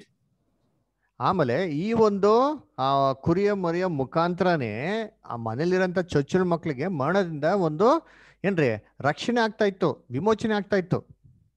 While the firstborn of Pharaoh were all killed. ಆದ್ರೆ ಅದೇ ಸಮಯದಲ್ಲಿ ಐಗುಪ್ತ ದೇಶದಂತ ಒಂದು ಎಲ್ಲಾ ಚೊಚ್ಚಲ ಮಕ್ಕಳುಗಳಿಗೆ ಮರಣ ಆಗ್ತಾ ಇತ್ತು This is, all, this is all described in Exodus chapter 12. ಇದು ಎಲ್ಲ ಬಂದ್ಬಿಟ್ಟು ವಿಮೋಚನಾ ಕಂಡ ಒಂದನೇ ಅಧ್ಯಾಯದಲ್ಲಿ ನಮ್ಗೆ ಏನಾಗಿದೆ ನಮಗೆ ಅಲ್ಲಿ ಕ್ಲಿಯರ್ ಆಗಿ ನೋಟ್ಸ್ ಕೊಟ್ಟಿದ್ದಾರೆ And on the next day, the entire nation is delivered. ಅದಾದ ನಂತರ ನೆಕ್ಸ್ಟ್ ದಿನ ಬಂದ್ಬಿಟ್ಟು ಇಡೀ ಇಸ್ರೇಲ್ಗಳಿಗೆ ಸ್ವಾತಂತ್ರ್ಯ ಬರೋದನ್ನ ನಾವೇನ್ ಮಾಡ್ತೀವಿ ನೋಡ್ತೀರಿ And so Israel comes out of Egypt. So ಅದರಿಂದ ಇಸ್ರೇಲ್ ಜನಗಳು ಐಗುಪ್ತ ದೇಶದಿಂದ ಹೊರಗಡೆ ಬರೋದನ್ನ ಕೂಡ ನಾವು ಓದಿದ್ದೀರಿ And this is described in Exodus chapters 13 through 18. ಇದು ವಿಮೋಚನ ಕಂಡ ಹದಿಮೂರಿಂದ ಹದಿನೆಂಟನೇ ಅಧ್ಯಾಯದಲ್ಲಿ ನಮಗೆ ಸ್ಪಷ್ಟವಾಗಿ ಕೊಟ್ಟಿದ್ದಾರೆ They leave Egypt, they go through the Red Sea, and they go through the wilderness. ಅದರಿಂದ ಇಸ್ರೇಲ್ ಜನಗಳು ಐಗುಪ್ತ ದೇಶ ಬಿಟ್ಟು ಕೆಂಪು ಸಮುದ್ರಕ್ಕೆ ಬರ್ತಾರೆ ಕೆಂಪು ಸಮುದ್ರದ ಅರಣ್ಯಕ್ಕೆ ಏನ್ ಮಾಡ್ತಾರೆ ಹೋಗೋದನ್ನ ನೋಡ್ತೀರಿ And faith, uh, the firstborn of Satan, Pharaoh, Egypt, and all his servants are destroyed in the second in the Red Sea, or this, which is a picture of the se- second death. ಅಲ್ಲಿ ನೋಡ್ಬೇಕಾದ್ರೆ ಅಲ್ಲಿ ಫೆರೋನ ಒಂದು ಸೈನಿಕರು ಫೆರೋ ಮತ್ತೆ ಆ ಕೆಂಪು ಸಮುದ್ರದಲ್ಲಿ ಸಾಯೋದು ಏನು ಸೂಚನೆ ಆಗಿದೆ ಅಂದ್ರೆ ಏನ್ರಿ ಎರಡನೇ ಮರಣದಲ್ಲಿ ಸೇತಾನು ಮತ್ತೆ ಸೇತಾನಿಗಿರಂತ ಎಲ್ಲಾ ಒಂದು ದೂತರುಗಳು ಎರಡನೇ ಮರಣದಲ್ಲಿ ಸಮರಸದ ಒಂದು ಚಿತ್ರೀಕರಣ ನಾವು ನೋಡ್ತೀವಿ ಇಲ್ಲಿ Now we want to talk about this Exodus 13 through 18, the travel to Sinai versus uh, Exodus. Okay, Exodus 13 eight through 18 is the travel to Sinai. We arrive at Sinai in, in chapter 19, verses 1 to 11. So And we that... arrive at camp, and Moses talks to God. So ಅದರಿಂದ ನಾವು ಇವಾಗ ನಾವು ಯಾವ ಒಂದು ವಿಚಾರನ ನಾವು ಇವಾಗ next ನೋಡೋಣ ಅಂತಂದ್ರೆ ವಿಮೋಚನೆ ಕಂಡ ಹದಿಮೂರು ಮತ್ತೆ ಹದಿನೆಂಟು ಅಲ್ಲಿಂದ ಹಿಡ್ದು ಇಸ್ರೇಲ್ ಜನಗಳು ಸಿನಾಯಿ ಒಂದು ಪರ್ವತ ಕಡೆಗೆ ಪ್ರಯಾಣ ಮಾಡ್ತಾರೆ ಪ್ರಯಾಣ ಮಾಡಿದ್ಮೇಲೆ ಒಂಬತ್ತನೇ ಅಧ್ಯಾಯ ಒಂದರಿಂದ ಹನ್ನೊಂದರಲ್ಲಿ ನಾವೇನಪ್ಪ ನೋಡ್ತೀರಿ ಅಂತಂತಂದ್ರೆ ಮೋಸೆ ಮತ್ತೆ ಇಸ್ರೋ ಜನಗಳೆಲ್ಲ ಬಿಟ್ಟು ಆ ಡೇರೆಗಳನ್ನ ಬಿಟ್ಟು ಆ ಅರಣ್ಯದಲ್ಲಿ ಹಾಕೋದನ್ನ ನೋಡ್ತೀರಿ. ಆಮೇಲೆ ದೇವರು ಮೋಸೆ ಹತ್ರ ಮಾತಾಡೋದ್ ಬಗ್ಗೆ ಕೂಡ ನಾವೇನ್ ಮಾಡ್ತೀರಿ? ನಾವು ನೋಡ್ತೀರಿ? Okay, so sometime when you have time, just read through that verses 1 through 11. It's very beautiful. So ನೀವು ಯಾರು ಫ್ರೀ ಇದ್ದ ಸಂದರ್ಭದಲ್ಲಿ ನೀವೇನ್ ಮಾಡಿ? ಆ ವಚನ ನೀವೇನ್ ಮಾಡಿ? ನೀವು ನೀವು ಓದ್ಕೊಳ್ಳಿ. They arrive, they camp, and Moses talks to God and, and to Israel. ಅವಾಗ ಅವ್ರು ಬಂದು ಗುಡನ ಹಾಕ್ಬೇಕಾದ್ರೆ ದೇವರು ಮೋಸೆ ಮುಖಾಂತರ ಏನ್ ಮಾಡ್ತಾರೆ ಮಾತಾಡೋದು ನೋಡ್ತೀರಿ Now we want to read uh, just verses 5 through 8, if you would. So ಇವಾಗ ನಾವೇನ್ ಮಾಡೋಣ ಒಂದು ವಚನ Let's, ಮಾತ್ರ let's, ಓದೋಣ let's go through the, the let's go through the other first, and then we'll come back and do verses 5 through 8. Okay, so to begin, so ಮೊದಲನೇದಾಗಿ ನಾವು first ಇದು ನೋಡೋಣ ಆಮೇಲೆ ಓದೋಣ number one, they leave Nisan, they leave, they leave Egypt on Nisan 15. ಸದ್ಯ Israel ಐಗುಪ್ತ ದೇಶನ ಯಾವತ್ತು ಬಿಟ್ರು ಅಂತಂದ್ರೆ ಏನ್ರಿ ನಿಸಾನ್ ಮಾಸದಲ್ಲಿ ಹದಿನೈದನೇ ದಿನ ಏನ್ ಮಾಡಿದ್ರು? ಹದಿನೈದನೇ ತಾರೀಕು ಅವರು ಐಗುಪ್ತ ದೇಶನ ಬಿಡ್ತಾರೆ fifteen days left in Nisan okay then ಈ is twenty nine days that's for total forty four days so ಅದಾಗಿದ್ದ ನಂತರ ಇಯರ್ ಅಂತ ಅಂದ್ಬಿಟ್ಟು ಒಂದು ಮಾಸದ ಇಪ್ಪತ್ತೊಂಬತ್ತನೇ ದಿವಸದಲ್ಲಿ ಅಂದ್ರೆ ನಲವತ್ನಾಲ್ಕು ದಿನ ಆಗಿತ್ತು ಅವಾಗ ಅವ್ರು ಏನ್ ಮಾಡ್ತಾರೆ ಸಿನಾಯಿ ಹತ್ರಕ್ಕೆ ಬರ್ತಾರೆ They arrive at Sinai on the first day of the third month, which is Sivan. So ಅದು ಬರೋಂಥ ಸಮಯ ಅವಾಗ ಏನಾಗಿತ್ತು ಅಂದ್ರೆ ಸಿವಾನ್ ಅಂತ ಮಾಸದಲ್ಲಿ ಮೊದಲನೇ ಒಂದು ದಿನ ಆಗಿತ್ತು They're at Sinai, and in Exodus 19, it, it describes six days. So ಅದರಿಂದ ಆ ಸಿನಾಯಿ ಪರ್ವತದಲ್ಲಿ ಅವರು ಆರು ದಿನ ಏನ್ ಮಾಡ್ತಾರೆ ಅಲ್ಲಿ ಇರ್ತಾರೆ ವಿಮೋಚನೆ ಕಂಡ ಹತ್ತೊಂಬತ್ತು ಒಂದರಿಂದ ಹನ್ನೊಂದಲ್ಲಿ ಕೊಟ್ಟಿದ್ರು ಅದನ್ನ Now, we'll, we'll just, if you would read verses 5 through 8, it's very beautiful. This is, So- let me just set the stage. Moses goes up and talks to God. ಅವಾಗ ವಿಮೋಚನೆ ಕಂಡ ಐದನೇ ಹತ್ತೊಂಬತ್ತನೇ ಅಧ್ಯಾಯ ಐದರಿಂದ ಎಂಟನೇ ವರ್ಷದಲ್ಲಿ ಏನಂತ ಬರ್ತಾರೆ ಅಂದ್ರೆ ಮೋಸೆ ದೇವರ ಸಂಗಡ ಮಾತಾಡೋದನ್ನ ನೋಡ್ತೀರಿ And then, of course, all these things happen. Verses 5 through 8. So ಅವಾಗ ಐದರಿಂದ ಎಂಟನೇ ವರ್ಷದಿಂದ ಬರೆದಂಥ ಕಾರ್ಯಗಳಾಗ್ತದೆ shall we read brother Uh, I can just, I can, I can summarize it. Perhaps it's easier. Okay God, God tells Moses. God tells Moses, ಹಾಗೆ ದೇವರು ಮೋಸೆಗೆ ಏನ್ ಹೇಳ್ತಾರೆ ಅಂದ್ರೆ Tell Israel, if they will obey my voice and keep my covenant, they will be a peculiar people, a kingdom of priests, and a holy nation. ಅದೇ ದೇವ್ರು ಮೋಸಗೆ ಏನ್ ಹೇಳ್ತಾರೆ ಅಂದ್ರೆ ಇಸ್ರೇಲ್ ಜನಗಳಿಗೆ ಹೇಳು ಅವ್ರು ನನ್ನ ಮಾತನ್ನ ಕೇಳಿ ಕೈಕೊಂಡು ನಡೆದ ಅಂದರೆ ಅವ್ರು ವಿಶೇಷವಾದ ಜನ ಆಗಿರ್ತಾರೆ ರಾಜವಂಶಸ್ಥರಾಗಿರ್ತಾರೆ ಅಂತ ಹೇಳ್ತಾರೆ So the first day they camp. ಅದನ್ನ ಮೊದಲನೇ ದಿನದಲ್ಲಿ ಅವ್ರು ಕ್ಯಾಂಪ್ ಮಾಡ್ಬೇಕಾರೆ Second day, Moses goes up in the mountain, talks to God. ಎರಡನೇ ದಿನದಲ್ಲಿ ಮೋಸೆ ಮೇಲೆ ಪರ್ವತದ ಮೇಲೆ ಹೋಗಿ ದೇವ್ರ ಹತ್ರ ಮಾತಾಡ್ತಾರೆ God tells Moses this. ಮೂರನೇ ದಿನದಲ್ಲಿ ದೇವರು ಮೋಸೆಗೆ ಈ ತರ ಹೇಳ್ತಾರೆ On the th- second day or the third day, Moses goes down and tells Israel. So ಆ ಮೂರನೇ ದಿನ ಮೋಸೆ ಪರ್ವತದ ಕೆಡೆ ಬಂದು ಇಸ್ರೇಲ್ ಜನಗಳಿಗೆ ಇದೇ ಮಾತನ್ನು ತಿಳಿಸ್ತಾರೆ And then in verse 8, it says, Israel says, All that the Lord has said, we will do. ಅದೇ ಎಂಟನೇ ವಚನದಲ್ಲಿ ಇಸ್ರೇಲ್ ಜನಗಳೆಲ್ಲರೂ ದೇವ್ರಿಗೆ ಏನಂತ ಉತ್ತರ ಕೊಡ್ತಾರೆ ಅಂತಂದ್ರೆ ದೇವ್ರಂತ ಮಾತುಗಳು ಎಲ್ಲವನ್ನೂ ನಾವೇನ್ ಮಾಡ್ತೀರಿ ನಾವು ಕೇಳ್ತೀರಿ ಅಂತ So on the fourth day, Moses goes back up in the mountain, tells God, Israel says, all these things we will do. So ಮೋಸೆ ತಿರ್ಗಾ ನಾಲ್ಕನೇ ದಿನ ಪರ್ವತದ ಮೇಲೆ ಹೋಗಿ ದೇವತ್ರ ಏನ್ ಮಾಡ್ತಾರೆ ಇಸ್ರೇಲು ಆ, ಎಲ್ಲಾ ಮಾತುಗಳಿಗೆ ಆ, ಒಪ್ಕೊಂಡಿದ್ದಾರೆ ನಿಮ್ ಮಾತುಗಳನ್ನ ವಿಧೇಯರಾಗ್ತಾರೆ ಅಂತ ಹೇಳಿದ್ರನ್ನ ದೇವ್ರ ಹತ್ರ ಏನ್ ಮಾಡ್ತಾರೆ ತಿಳಿಸ್ತಾರೆ ಅದನ್ನ And God says, prepare the people today, which is the fourth day, so ಅದನ್ನ ನಾಲ್ಕನೇ ದಿನದಲ್ಲಿ ದೇವ್ರು ಏನ್ ಹೇಳ್ತಾರೆ ಅಂದ್ರೆ ಇಸ್ರೇಲ್ ಜನಗಳಿಗೆ ಎಲ್ಲರಿಗೂ ಸಿದ್ಧ ಮಾಡ್ಕೊಂಡು ಕೇಳಿ ಅಂತಂತ ಹೇಳ್ತಾರೆ tomorrow, which is the fifth day, So ಮರುದಿನ ಅಂದ್ರೆ ಐದನೇ ದಿನ and on the third day, which is the sixth day, I will come and talk to them on the top of the, on Mount Sinai. ಅದಾಗಿದ ನಂತರ ಇನ್ನೊಂದು ದಿನ ಅಂತಂದ್ರೆ ಆರನೇ ದಿನ ದೇವರು ಸಿನಾಯಿ ಪರ್ವತದಲ್ಲಿ ಬಂದು ಆ ಇಸ್ರೇಲ್ ಜನಗಳ ಹತ್ರ ಮಾತಾಡ್ತಾರೆ ಅಂತ ತಿಳಿಸು ಅಂತ ಹೇಳ್ತಾರೆ So these are the six days. So ಅದೇ ಈ ಒಂದು ಆರು ದಿನದ ಒಂದು ಲೆಕ್ಕಾಚಾರಗಳು So here's what we have so ಅದಕ್ಕೆ ನಮಗೆ ಇಲ್ಲಿ ಏನು ಒಂದು ಎಣಿಕೆ ಏನು ಸಿಗ್ತದೆ ಅಂತಂದ್ರೆ 15 plus 29 plus 6 equals 50. ಸೊ ಹದಿನೈದು ದಿನ ಅಂದ್ರೆ ಇಸ್ರೇಲ್ ಜನಗಳ ಐಗುಪ್ತ ದೇಶದಲ್ಲಿ ಬಿಟ್ಟಿರೋಂಥ ಹದಿನೈದನೇ ದಿನ ಆಮೇಲೆ ಇಪ್ಪತ್ತೊಂಬತ್ತು ದಿನ ಪ್ರಯಾಣ ಮತ್ತೆ ಆರು ದಿನ ಸಿನೈ ಪರ್ವತ ಸೊ ಟೋಟಲ್ ಆಗಿ ಎಷ್ಟಾಯ್ತು ಅಂದ್ರೆ ಐವತ್ತು ಒಂದು ಎಣಿಕೆ ಬಂತು So on the 50th day, from the day they left Egypt, is the birthday of natural Israel. So ಅದಕ್ಕೆ ಆ ಐವತ್ತನೇ ದಿನದಲ್ಲಿ ಅಂದರೆ ಐಗುಪ್ತ ದೇಶನ ಬಿಟ್ಟು ಐವತ್ತನೇ ದಿನದಲ್ಲಿ ಏನಪ್ಪ ಆಯ್ತು ಮೊದಲು ಅಂತಂದ್ರೆ ಇಸ್ರೇಲು ರಾಜ್ಯವಾಗಿ ಏನಾಯ್ತಲ್ಲಿ? ಅಲ್ಲಿ ಸ್ಥಾಪನೆ ಆಯಿತು. That is the day God makes his establishes his covenant with the nation of Israel. So ಆ ದಿನನೇ ದೇವರು ವಿಶೇಷವಾಗಿ ಇಸ್ರೇಲ್ ಜನಗಳ ಹತ್ರ ಒಂದು ಒಡಂಬಡಿಕೆಯನ್ನು ಮಾಡ್ಕೊಂತಾರೆ. ಮಾಡ್ಕೊಂತಾರೆ. ನ್ಯಾಯ ಪ್ರಮಾಣದ ಒಡಂಬಡಿಕೆ ಮಾಡ್ಕೊಂತಾರೆ. Now we go on with in in uh, Exodus chapter 20, we have the establishment of the law. ಅದೇ ವಿಮೋಚನ ಕಾಂಡ ಇಪ್ಪತ್ತನೇ ಅಧ್ಯಾಯದಲ್ಲಿ ನ್ಯಾಯ ಪ್ರಮಾಣದ ಸ್ಥಾಪನೆ ಬಗ್ಗೆ ಇನ್ನ ಅನೇಕ ವಿಚಾರಗಳು ನಮಗೆ ಡೀಟೇಲ್ ಆಗಿ ಕೊಟ್ಟಿದ್ದಾರೆ. The firstborn are exchanged for the tribe of Levi, ಆ ಚೊಚ್ಚಲು ಮಕ್ಳುಗಳನ್ನ ಆ ಬದಲಾಗಿ ಲೇವಿರ್ಗಳನ್ನ ಆಯ್ಕೆ ಮಾಡೋದನ್ನ ನಾವು ಓದ್ತೀರಿ and the tribe of Levi become the religious servants of the people. ಅದಕ್ಕೆ ಅದಕ್ಕೆ- ಅವಾಗಿಂದ ಲೇವಿಗಳು ದೇವರ ಒಂದು ಆಲಯದಲ್ಲಿ ಮುಖ್ಯವಾಗಿ ಸೇವೆ ಒಂದು ಕೆಲಸ ಮಾಡೋದನ್ನ ನಾವು ಓದ್ತೀರಿ Okay, so this shows they're wandering from Goshen to Succoth to Mara, Elam, and to Mount Sinai on the 50th day. ಅದಕ್ಕೆ ನೋಡ್ಬೇಕಾದ್ರೆ ಈ ಐವತ್ತು ದಿನದಲ್ಲಿ ಗೋಷನಿಂದ ಹಿಡಿದು ಸುಖೋತ್ತು ಸುಖೋತಿನ ಮಾರ ಮಾರ ಎಲಿಮ್ ಮತ್ತೆ ಮೌಂಟ್ ಸೆನಾಗಿ ಬರೋದನ್ನ ನೋಡ್ತೀರಿ Now we have tabernacle shadows. So ಇವಾಗ ಏನ್ ಮಾಡೋಣ ದೇವ್ರ ದರ್ಶನ ಗುಡಾರದ ಬಗ್ಗೆ ಕೆಲವೊಂದು ವಿಚಾರಗಳನ್ನ ನೋಡೋಣ A wonderful book. ಒಂದು the ವಿಶೇಷವಾಗಿರಂತ Tabernacle ಕೆಲಸ Shadows has basically a, a three-act play.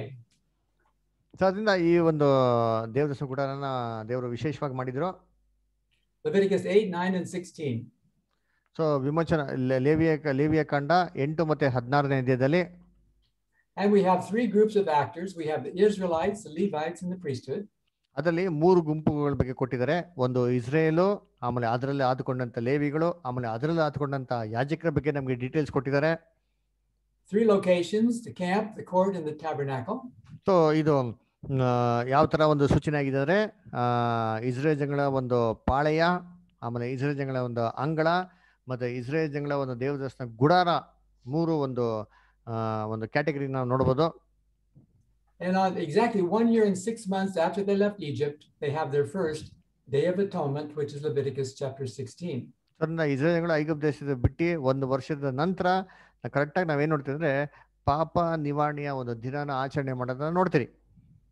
And then every year on the 10th day of the seventh month, they have the Day of Atonement. ನೋಡ್ಬೇಕಾದ್ರೆ ಏಳನೇ ತಿಂಗಳಲ್ಲಿ ಏನು ಮಾಡ್ತಾರೆ ಆ ಒಂದು? ದೋಷ ಪರಿಹಾರ ಯಜ್ಞ ಅಂತ ಆಚರಣೆ ಮಾಡೋದನ್ನ ನಾವು ನೋಡ್ತೀರಿ ಡೇ ಆಫ್ ಅಟೋನ್ಮೆಂಟ್ ಮಾಡೋದನ್ನ ನೋಡ್ತೀರಿ Two major sacrifices, a bullock and a goat.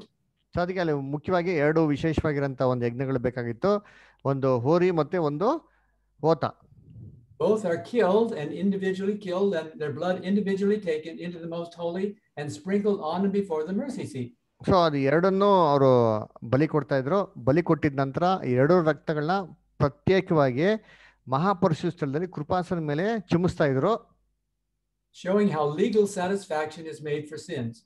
ಇದ್ರ ಮುಖಾಂತರ ದೇವರ ನೀತಿನ ಯಾವ ತರ ತೃಪ್ತಿ ಪಡಿಸ್ತಾ ಇದ್ರು ಅಂತ ಅಲ್ಲಿ ನೋಡಿಸ್ತಾ ಇದ್ರು One sacrifice in two parts, So ಒಂದೇ ಬಲಿ ಎರಡು ವಿಧವಾದಂತ ರೀತಿಯಲ್ಲಿ ಎರಡು ಭಾಗವಾಗಿ. ಅದನ್ನ ಏನಂತ ಹೇಳ್ತಾರೆ ಅಂದ್ರೆ ಸಿನ್ ಆಫರಿಂಗ್ ಅಂತ ಕೂಡ ಬೈಬಲ್ ಹೇಳ್ತಾರೆ ಪಾಪ ನಿವಾರಣ ಬಲಿ ಅಂತ ಕೂಡ ಹೇಳ್ತಾರೆ ಬೈಬಲ್ ಅಲ್ಲಿ I'm sure you're aware, but there's a beautiful story in volume 5. Brother Russell describes the sin offering. ಅದನ್ನ ಸೋದಂತ ರಸಲ್ ಅವರು ಐದನೇ ವಾಲ್ಯೂಮ್ನಲ್ಲಿ ಈ ಒಂದು ಪಾಪ ನಿವಾರಣೆ ಬಲಿ ಬಗ್ಗೆ ತುಂಬಾ ಚೆನ್ನಾಗಿ ಏನ್ ಮಾಡಿದ್ದಾರೆ ಅರ್ಥಭರಿತವಾಗಿ ಹೇಳಿದ್ದಾರೆ Beautiful lake on the mountain full of crystal clear water. Pardon, brother? There's a beautiful lake on the mountain full of crystal clear water. So ಆ ಪರ್ವತದ ಮೇಲೆ ಒಂದು ಸುಂದರವಾಗಿರೋಂಥ ಒಂದು ಸ್ಥಳ ಇದೆ ಒಂದು ತುಂಬಾ ಕ್ಲಿಯರ್ ಆಗಿರೋಂಥ ನೀರಿರೋಂಥ ಸ್ಥಳ ಇದೆ Down in the valley, there's a city that has no water. The people are dying.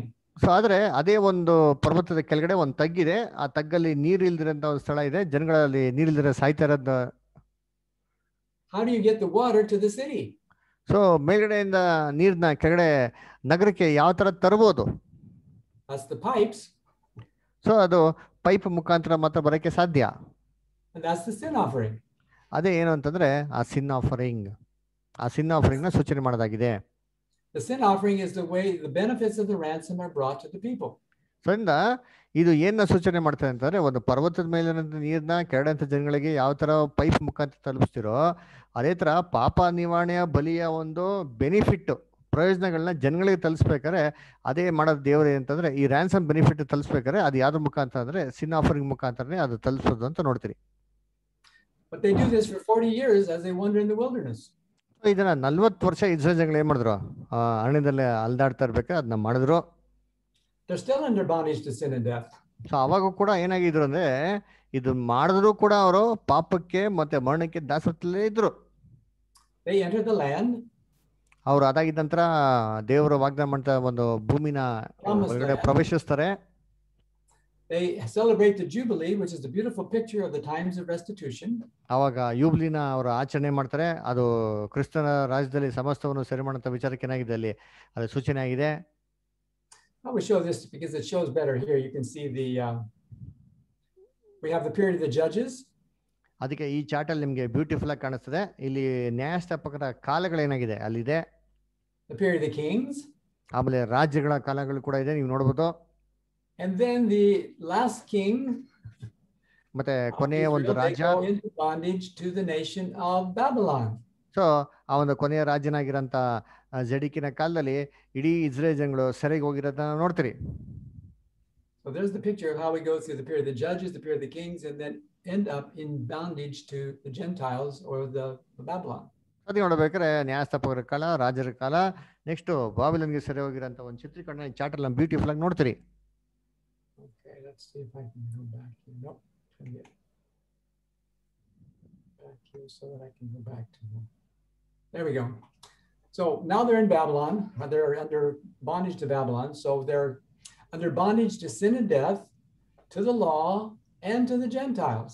Next Israel ಜನಗಳು ಆ ರಾಜರ ಕಾಲದ ನಂತರ ಎಲ್ಲ ಹೋಗೋದು ನೋಡ್ತೀರಿ ಬಾಬಿಲನ್ಗೆ ಸೆರೆ ಹೋಗೋದು ನೋಡ್ತೀರಿ ಸೊ ಒಟ್ಟಾರೆ ಏನಾಯ್ತು ಇಸ್ರೇಲ್ ಜನಗಳು ಪಾಪಕ್ಕೆ ಮರಣಕ್ಕೆ ದಾಸವತ್ತಿಲ್ತಾರೆ ಸಾಲದಿದ್ಕೆ ನ್ಯಾಯ ಪ್ರಮಾಣದಲ್ಲೂ ದಾಸವತ್ತಿಲ್ತಾರೆ ನೆಕ್ಸ್ಟ್ ಅನ್ಯ ಜನಗಳ ಕೆಡೆ ಕೂಡ ಏನಾಗಿದ್ರೆ ದಾಸವತ್ತಿಲ್ದಿರೋದು ನೋಡ್ತೀರಿ Okay, so this brings us to behold the Lamb of God. So next ಇದು ನಮ್ಗೆ ಯಾವ್ದು ಕಡೆಗೆ ನಮ್ಮ ಗಮನನ ಸೆಳ್ಕೊಂಡು ಹೋಗ್ತಾರೆ ಅಂತಂದ್ರೆ ಯಜ್ಞದ ಕುರಿಯಾದತನ ಒಂದು ಗಮನಕ್ಕೆ ಏನ್ ಮಾಡ್ತಾರೆ ನನ್ನ ಸೆಳ್ಕೊಂಡು ಹೋಗ್ತದೆ The Lamb of God takes away the sin. So ಅದೇ ನೋಡ್ಬೇಕಾದ್ರೆ ಈ ಒಂದು ಯಜ್ಞದ ಕುರಿಯಾದತನೇ ನಮ್ಮ ಎಲ್ಲಾ ಪಾಪಗಳನ್ನ ವಿಮೋಚನೆ ಮಾಡಂತ ಒಂದು ಕುರಿ ಯಜ್ಞ ಆಗಿದೆ First Advent, the Lamb of God comes to take away the sins of the world.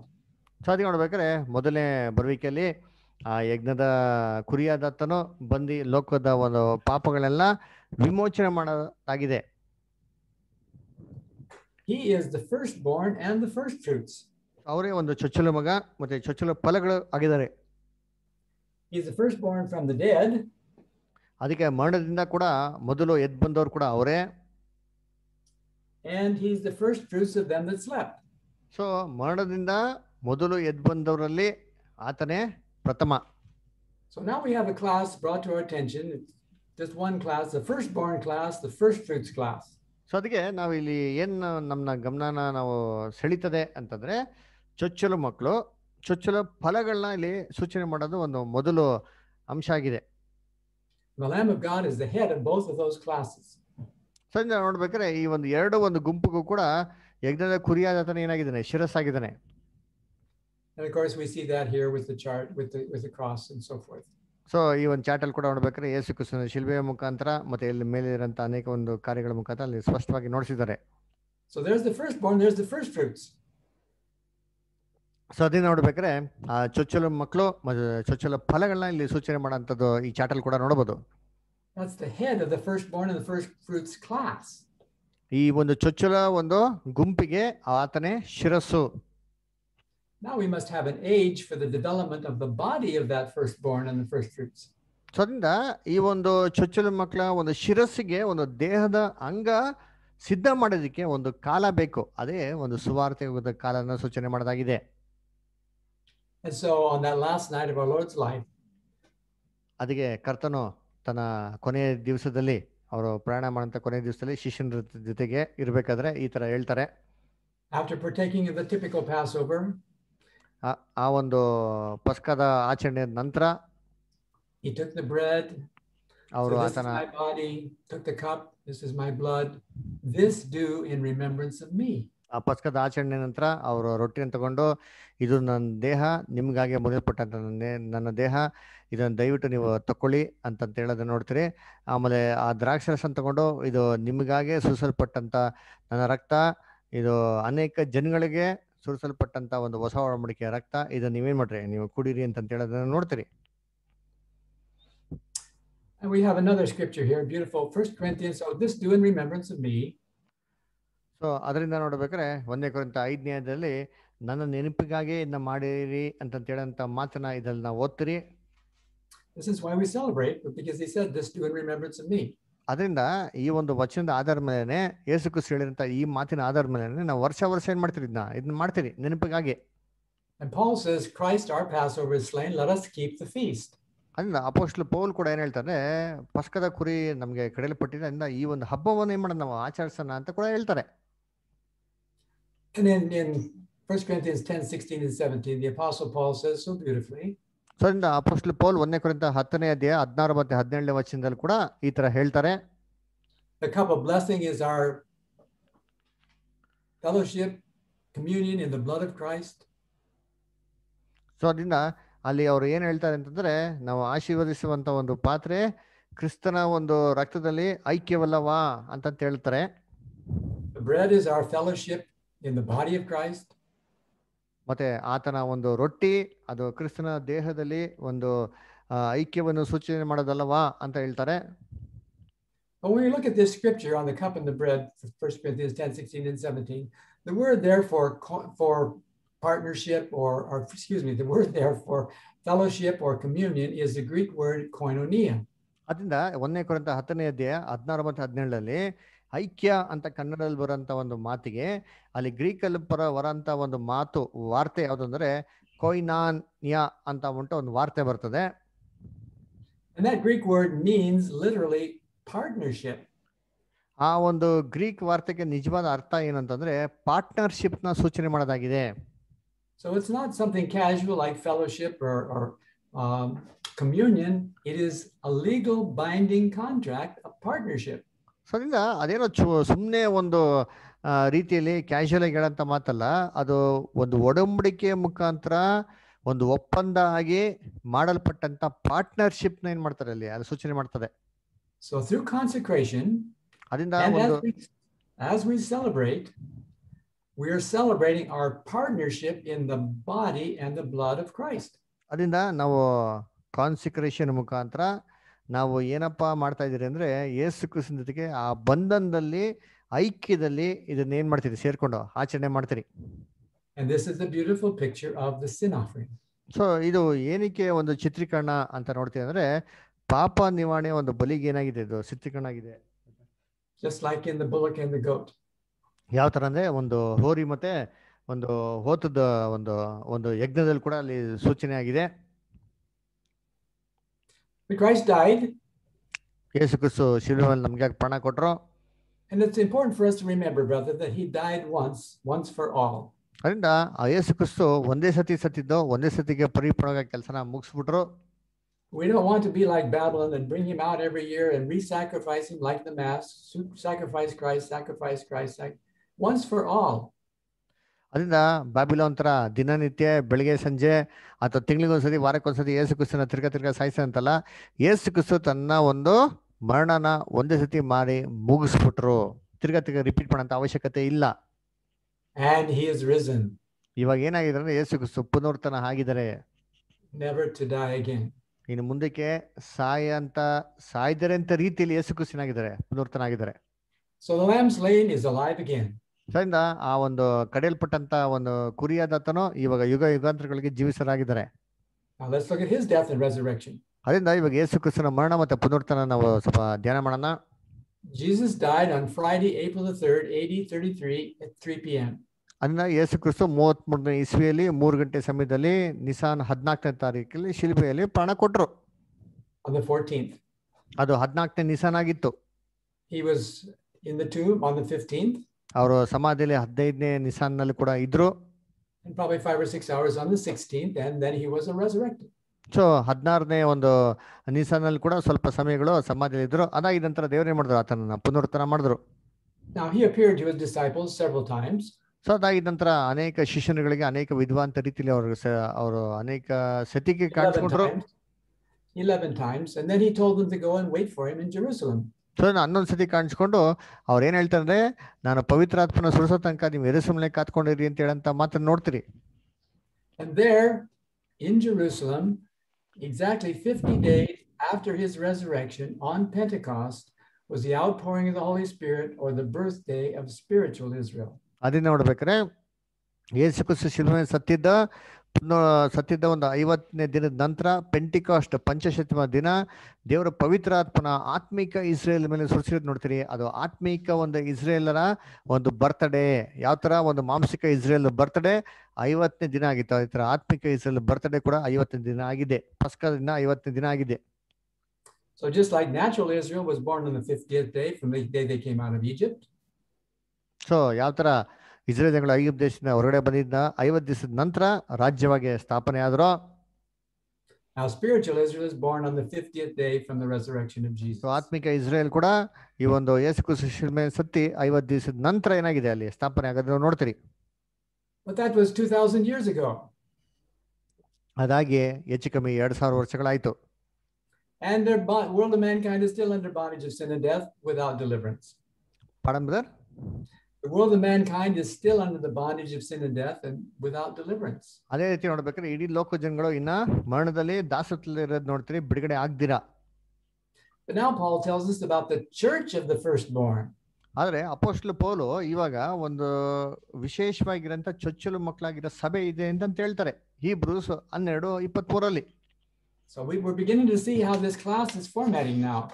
So ಇವಾಗ ಈ ಒಂದು ಗುಂಪು ಯಾವ ತರ ನಡೀತಾ ಇದ್ದಾರೆ ಏನಾಗ್ತಾ ಇದೆ ಅಂತ ಇದ್ರ ಬಗ್ಗೆ ನಾವು ಓದೋಣ ಧ್ಯಾನ ಮಾಡೋಣ As James tells us, he begat us with the word of truth that we could be the first fruits of his creatures. ಯಾಕೋ ಬಂದು ಹದಿನೆಂಟಲ್ಲಿ ಏನ್ ಹೇಳ್ತಾರೆ ನಾವು ದೇವರ ಒಂದು ಪ್ರಥಮ ಫಲವಾಗಿರಬೇಕು ಅಂತ ನಾವು ನೋಡ್ತೀರಿ So Christ is the first of the first fruits, and then we are the body of the first fruits. So ಇದು ಮೊದಲು ಚೊಚ್ಚಲ ಫಲ ಯಾರು ಅಂತಂದ್ರೆ ನಮ್ಮ ಪ್ರಭು ನಮ್ಮ ಕರ್ತನು ಯೇಸು ಕ್ರಿಸ್ತನು ಅದಾಗಿ ನಂತರ ನೆಕ್ಸ್ಟ್ ಸಭೆಯನ್ನ ಸೂಚನೆ ಮಾಡೋದಾಗಿದೆ And in, in Apocalypse, Revelation chapter 14, 4, beautiful. The 144,000 are the first fruits unto God and to the Lamb. ಅದಕ್ಕೆ ಪ್ರಕಟಣೆ ಹದಿನಾಲ್ಕು ನಾಲ್ಕಲ್ಲಿ ಕೂಡ ನಾವೇನ್ ನೋಡ್ತೀವಿ ಅಂದ್ರೆ ಈ ಒಂದ್ ಲಕ್ಷದ ನಲವತ್ನಾಲ್ಕು ಸಾವಿರ ಜನ ದೇವರಿಗೆ ಪ್ರಥಮ ಫಲವಾಗಿದ್ದಾರೆ ಅಂತ ಕೂಡ ನೋಡ್ತೀರಿ Now we have the gospel age. So ಇವಾಗ ಸುವಾರ್ಥ ಯುಗ ಇದೆ We have on your beautiful chart the seven seven churches ಆ ಒಂದು ಸುವಾರ್ಥ ಯುಗದಲ್ಲಿ ಏಳು ಸಭೆಗಳಿದೆ throughout the gospel age. Paul, John, Arius, Waldo, Wycliffe, Luther, and Russell, the seven angels to seven messengers to the seven stages of the church throughout the gospel age. ಆ ಸುವಾರ್ಥಕದಲ್ಲಿ ಏಳು ಸಭೆಗಳು ಏಳು ಸಭೆಗಳಿಗಂತ ಏಳು ದೂತರುಗಳನ್ನ ಏನ್ ಮಾಡ್ತೀವಿ ನಾವು ನಾವು ಆಲ್ರೆಡಿ ಅದನ್ನ ಓದಿದಿರಿ ಕ್ಲಿಯರ್ ಆಗಿ ನೋಡ್ತೀರಿ These span the, the gospel age. ಇವರು ಸುವಾರ್ತೆಗದರ ಅಂತ್ಯದವರೆಗೂ ಆರಂಭದಿಂದ ಅಂತ್ಯದವರೆಗೂ ನಾವು ಇರೋದನ್ನ ನೋಡಿದಿರಿ So this is the firstborn, so but ಇವರೇ. ಆ ಇವರೇ ಆ ಚೊಚ್ಚಲ ಮಕ್ಕಳನ್ನ ಸೂಚನೆ ಮಾಡೋದಾಗಿದೆ ಅಂದ್ರೆ ಸಭೆನ ಸೂಚನೆ ಮಾಡೋದಾಗಿದೆ. ಆದ್ರೆ ಇನ್ನ ವಿಮೋಚನೆ ಏನಾಗಿಲ್ಲ ಇನ್ನ ಬಂದಿಲ್ಲ. the first fruits class fruits first born class is not yet complete complete. ಯಾಕೆ ಅಂತಂದ್ರೆ ಇನ್ನ ಚೊಚ್ಚಲ ಮಕ್ಕಳದ ಒಂದು ಕೂಟ ಏನಾಗಿಲ್ಲ ಇನ್ನ ಇನ್ನ ಅದು ನೆರವೇರಿಲ್ಲ. That's why at the, har- at the at the end of the harvest we see a dotted line. So ಅದಕ್ಕೆ ಈ ಸುಗ್ಗಿ ಅಂತ್ಯದಲ್ಲಿ ನಾವೇನ್ ನೋಡ್ತೀರಿ ಒಂದು ಡಾಟೆಡ್ ಲೈನ್ ಏನ್ ಮಾಡ್ತೀರಿ ಡಿವೈನ್ ಫ್ಲೇನ್ ಚಾರ್ಟ್ ನೋಡ್ತೀರಿ ಒಂದು ಚಿಕ್ಕ ಚಿಕ್ಕ ಇರೋಂಥ ಒಂದು ಲೈನ್ ನೋಡ್ತೀರಿ Because that represents the completion of the church, the completion of the first fruits, and that date we don't know. ಯಾಕೆ ಅದು ಏನ್ ಸೂಚನೆ ಮಾಡೋದಾಗಿದೆ ಅಂದ್ರೆ ಸಭೆಯ ಒಂದು ಕಂಪ್ಲೀಟ್ ಆಗೋದು ಸಭೆಯ ಒಂದು ನಿಂತ್ರೆ ನೆರವೇರಂತದ್ದು ಕಾರ್ಯವನ್ನು ಸೂಚನೆ ಮಾಡೋದಾಗಿದೆ Now we, we begin to ask questions about people get impatient, brethren get impatient, and they say we have to make changes. So ಅದಕ್ಕೆ ಅನೇಕ ಸಹೋದರಗಳು ಏನ್ರಿ ಸಭೆ ಮುಗ್ದೋಯ್ತು ಸಭೆ ಇಂಥ ಕಾಲದಲ್ಲಿ ಮುಗ್ದೋಗ್ತಾರೆ ಅಂತ ಕಾಲದಲ್ಲಿ ಮುಗ್ದೋಗ್ತಾರೆ ಅಂತ ಹೇಳೋದನ್ನ ನಾವು ಕೇಳಿದಿರಿ many, many years, 147 years after 1874. So ಇದು ನೋಡ್ಬೇಕಾದ್ರೆ ನಾವೇನ್ರಿ ಸಾವಿರದ ಎಂಟುನೂರ ಎಪ್ಪತ್ನಾಲ್ಕನೇ ಇಸ್ವಿಯಿಂದ ಇವತ್ತು ನೂರ ನಲ್ವತ್ತೇಳು ವರ್ಷ ಮುಂದಕ್ಕೆ ನಾವೇನ್ ಮಾಡ್ತಾ ಇದ್ದೀವಿ ನಾವು ನೋಡ್ತಾ ಇದ್ರಿ The church was supposed to be gone. The, the Babylon was supposed to be destroyed after 1916, but still no deliverance. So ಅದೇ ನೋಡ್ಬೇಕಾದ್ರೆ ಸಾವಿರದ ಒಂಬೈನೂರ ಹದಿನಾರನೇ ಇಸ್ವಿಯಲ್ಲಿ ಲೋಕದ ರಾಜ್ಯಗಳು ಕೆಡಲ್ಪಡ್ತು ಆದ್ರೆ ಇನ್ನ ಲೋಕಕ್ಕೂ ಅಥವಾ ಸಭೆಗಾಗಲಿ ಸಂಪೂರ್ಣವಾದ ವಿಮೋಚನೆ ಏನಾಗಿಲ್ಲ ಇನ್ನ ಬಂದಿಲ್ಲ So they got tired of waiting. 147 years they've been waiting. So ಅದಕ್ಕೆ ನಮಗೆ ಏನಂತ ಅನ್ಸ್ಬೋದು ಅಂದ್ರೆ ಅಯ್ಯೋ ನೂರ ನಲ್ವತ್ತೇಳು ವರ್ಷ ವೇಟ್ ಮಾಡಬೇಕಾಗಿದ್ಯಾ ಅಂತ ಅನ್ಸ್ಬೋದು But brethren, there's still 853 years left. ಆದ್ರೆ ನಾವು ಆತರ ಥರ ಆದರೆ time for the resting of all mankind. ಆದ್ರೆ ಅದನ್ನ ಆತರ ನಾವು ಯೋಚನೆ ಮಾಡಿದ್ರೆ ಇನ್ನ ಎಂಟ್ನೂರ ಐವತ್ಮೂರು ವರ್ಷ ಆಯ್ತಲ್ಲ ಅಂತ ನಾವೇನ್ ಮಾಡ್ಬೇಕು?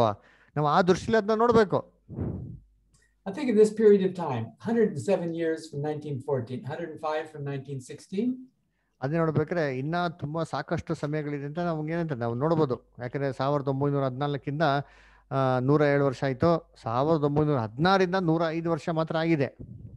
Remember the six and half billion so ಅದಕ್ಕೆ ನೀವು ಏನ್ರಿ ಸಿಕ್ಸ್ ಪಾಯಿಂಟ್ ಫೈವ್ ಬಿಲಿಯನ್ ಜನಗಳನ್ನ ನೀವು ಜ್ಞಾಪಿಸ್ಕೊಳ್ಳಿ ಜನಸಂಖ್ಯೆ ಬಗ್ಗೆ the 360,000 that are born every day.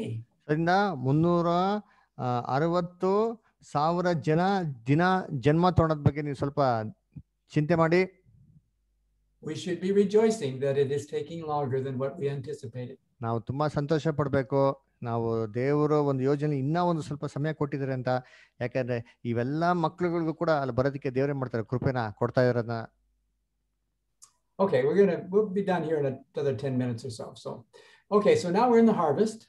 So ಇವಾಗ ನಾವು ಹಾರ್ವೆಸ್ಟ್ period ಇದ್ದೀರಿ ಸುಗ್ಗಿಯ ಒಂದು ಕಾಲದಲ್ಲಿ ಇದ್ದೀರಿ We've been given the truth. ನಮಗೆ ಸತ್ಯನ ಕೊಟ್ಟಿದ್ದಾರೆ ದೇವರು We're the firstborn, ಆ ಚೊಚ್ಚಲ ಮಕ್ಕಳಂದ್ರೆ ನಾವೇ the- the last of the first born class. So ಆ ಚೊಚ್ಚಲ ಮಕ್ಕಳದಲ್ಲಿ ಇರೋಂಥ ಅಂತ್ಯ ಭಾಗ ನಾವೇ Some of you remember, I'm sure, the manna from yesterday. I'm sure you all know it. John 8:31. If you continue in my word, then are you my disciples indeed, and you shall know the truth, and the truth shall make you free. So ಅದಕ್ಕೆ ಯೇಸು ಕ್ರಿಸ್ತು ಯೋಹಾನ ಎಂಟು ಮೂವತ್ತೊಂದು ಮೂವತ್ತೆರಡರಲ್ಲಿ ಹೇಳಂತ ಮಾತು ನೀವು ಸತ್ಯಲ್ಲಿ ನೆಲೆಗೊಂಡು ವಾಕ್ಯದಲ್ಲಿ ನೆಲೆಗೊಂಡು ಕೈಗೊಂಡು ನಡೆಯೋರಾಗಿದ್ರೇನೆ ನೀವು ನನ್ನ ನಿಜವಾಗೂ ನನ್ನ ಶಿಷ್ಯನಾಗ್ತೀರಾ ಮತ್ತೆ ಸತ್ಯ ಅಂತ ತಿಳ್ಕೊಳ್ಳಿ ಸತ್ಯ ನಿಮಗೆ ಬಿಡುಗಡೆ ಮಾಡ್ತಾ ಅಂತ ಹೇಳಂತ ಮಾತು. ಸೊ ಅದರಿಂದ ಅದರ ಮುಖ್ಯವಾಗಿರೋಂಥ ಅಂಶ ಏನು ಅಂತಂದ್ರೆ ಸತ್ಯದಲ್ಲಿ ನಾವು ಕೈಗೊಂಡು ನೆಲೆಗೊಳ್ಳಬೇಕು ನಡಿಬೇಕು And we want to show the parallel between two beautiful scriptures in Habakkuk and Hebrews. So Habakkuk ಎರಡನೇ ಅಧ್ಯಾಯದಲ್ಲಿ ಮತ್ತೆ ಹೀಬ್ರೂಸ್ ಹತ್ತನೇ ಅಧ್ಯಾಯದಲ್ಲಿ ಬರುವಂತ ಎರಡು ವಚನಗೂ ಅನೇಕ ಒಂದು ಹೋಲಿಕೆಗಳನ್ನ ನಿಮಗೆ ನೋಡಿಸ್ಬೇಕು ಅಂತ ನಾನು ಆಸೆ ಪಡ್ತೀನಿ The scripture at the bottom of the chart says,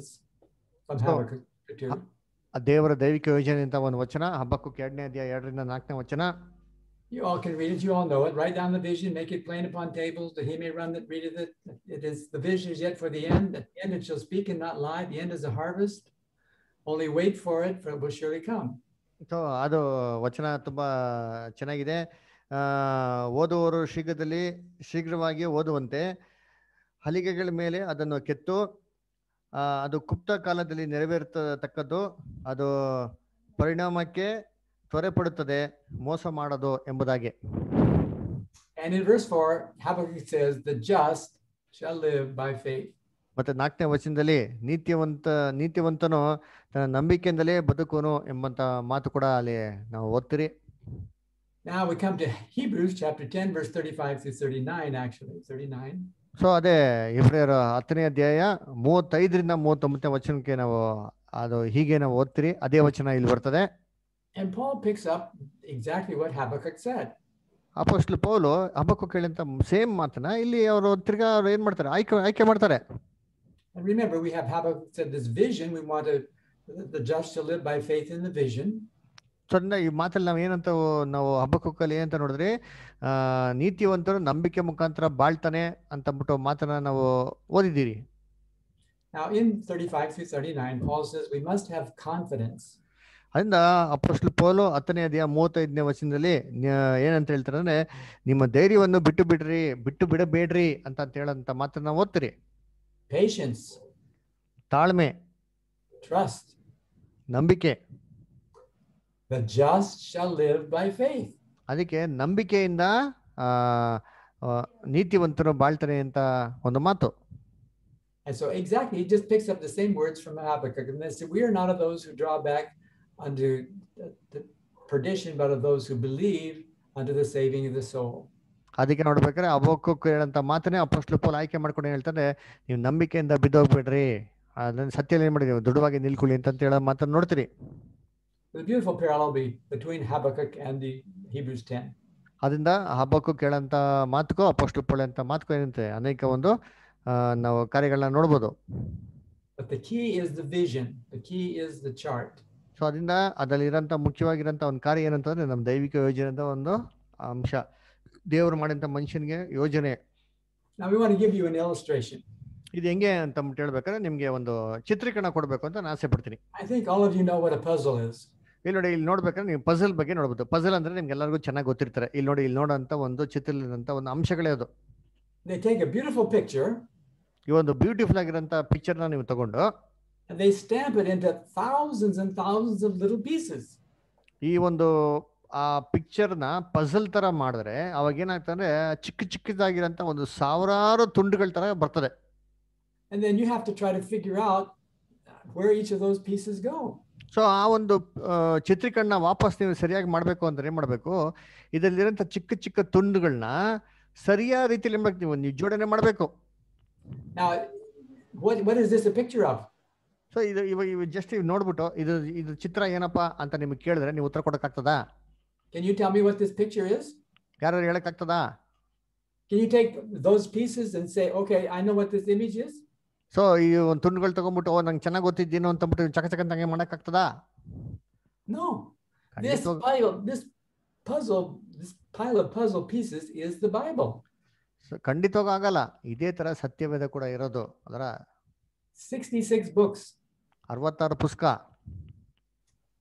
1189 chapters, eleven hundred and eighty nine ಚಾಪ್ಟರ್ಸ್ಗಳಿದೆ 33,000 verses, ಮೂವತ್ಮೂರು ಸಾವಿರ ವಚನಗಳಿದೆ many millions of words. ಅಲ್ವರ ಏನ್ರಿ ಲಕ್ಷಾಂತರ ಮಾತುಗಳು ವಾರ್ತೆಗಳೇನಾಗಿದೆ ಪದಗಳೇನಾಗಿದೆ ಅದ್ರಲ್ಲಿ ಸೇರಿದೆ on a big pile. ಈ ತರ ಒಂದು ದೊಡ್ಡದಾಗಿರಂತ ಏನಾಗಿದೆ ಒಂದು ಒಂದು ಒಂದು ರಾಶಿ ಆಗಿದೆ? ಅದು what's the picture? What's the vision? ಅದು ನಿಮ್ಗೆ ಇದರಲ್ಲಿ ಏನಪ್ಪ ಇದು ದೇವ್ರ ಯೋಜನೆ ಅಂತ ಹೇಳಿದ್ರೆ ಇಮ್ಮಟ ಕೇಳಕ್ ಸಾಧ್ಯನಾ Well, what do we need, brethren? ಅದಕ್ಕೆ ನಮ್ಗೆ ಏನ್ ಬೇಕು We need the puzzle box. ಅದಕ್ಕೆ ನಮ್ಗೆ ಏನ್ ಬೇಕಂದ್ರೆ ಪಜಲ್ ಬಾಕ್ಸ್ ಬೇಕು. ಅದಕ್ಕೆ ನಮ್ಗೆ ಏನ್ ಬೇಕು ಅಂದ್ರೆ ಪಜಲ್ ಬಾಕ್ಸ್ ಅಲ್ಲಿ ಒಂದು ಇರೋಂತ ಒಂದು ಚಿತ್ರ. ಆ ಚಿತ್ರ ಏನು ಅಂತ ಚಿತ್ರ ಬೇಕು ನಮ್ಗೆ. When you have the puzzle box, you see the beautiful picture and you know where the pieces go. ಆ ಪಜಲ್ ಬಾಕ್ಸ್ ಅಲ್ಲಿ ಇರೋಂಥ ಚಿತ್ರ ನೋಡ್ಬಿಟ್ರೆ ಈ ಒರಿಜಿನಲ್ ಆಗಿರೋ ಚಿತ್ರ ಹೇಗಿತ್ತು ಅಂತ ನಮ್ಗೊಂದು ಗೊತ್ತಾಗ್ತದೆ. What is this? ಇಲ್ಲಿ ನಾವು ಏನ್ ನೋಡ್ತೀರಿ ಇಲ್ಲಿ ಚಿತ್ರದಲ್ಲಿ? This is our puzzle box. ಇದೇ ನಮ್ಮ ಒಂದು ಪಜಲ್ ಬಾಕ್ಸ್ ದೇವರ ಒಂದು ದೈವಿಕ ಯೋಜನೆ This is the key to the scriptures that helps us understand where each scripture goes. ದೇವರ ಸತ್ಯವೇದನ ಅರ್ಥ ಮಾಡ್ಕೊಳಕ್ಕೆ ದೇವ್ರು ಕೊಟ್ಟಂತ ಒಂದು ಬಿಗಿದ ಕೈನೇ ದೇವರ ಯೋಜನೆ What is the plan of God? ದೇವ್ರ ಪ್ಲಾನ್ ಏನು ಹಂಗಾರೆ ಮನುಷ್ಯನ್ಗಾಗೆ You see the world of mankind, you see the nominal churches, they have no idea what the plan of God is. ಲೋಕದಂತ ಒಂದು ಹೆಸರುವಾಸಿಗಿರುವಂತ ಸಭೆ ಮಕ್ಕಳಿಗೆ ದೇವ್ರ ಯೋಜನೆ ಏನು ಅಂತ ಮುಟ್ಟೆ ಗೊತ್ತಿಲ್ಲ ಪಾಪ. ಯಾಕಂದ್ರೆ ಅವ್ರಿಗೆ ಒಂದು ಒಂದು ಪಜಲ್ ಬಾಕ್ಸ್ ಇಲ್ಲ ದೇವ್ರ ಯೋಜನೆ ಅಂತ ಚಾರ್ಟ್ ಅಂತ ಅಂದ್ಬಿಟ್ಟು ಅದು ಅಂಶಗಳೇ ಅವ್ರಿಗೆ ಗೊತ್ತಿಲ್ಲ.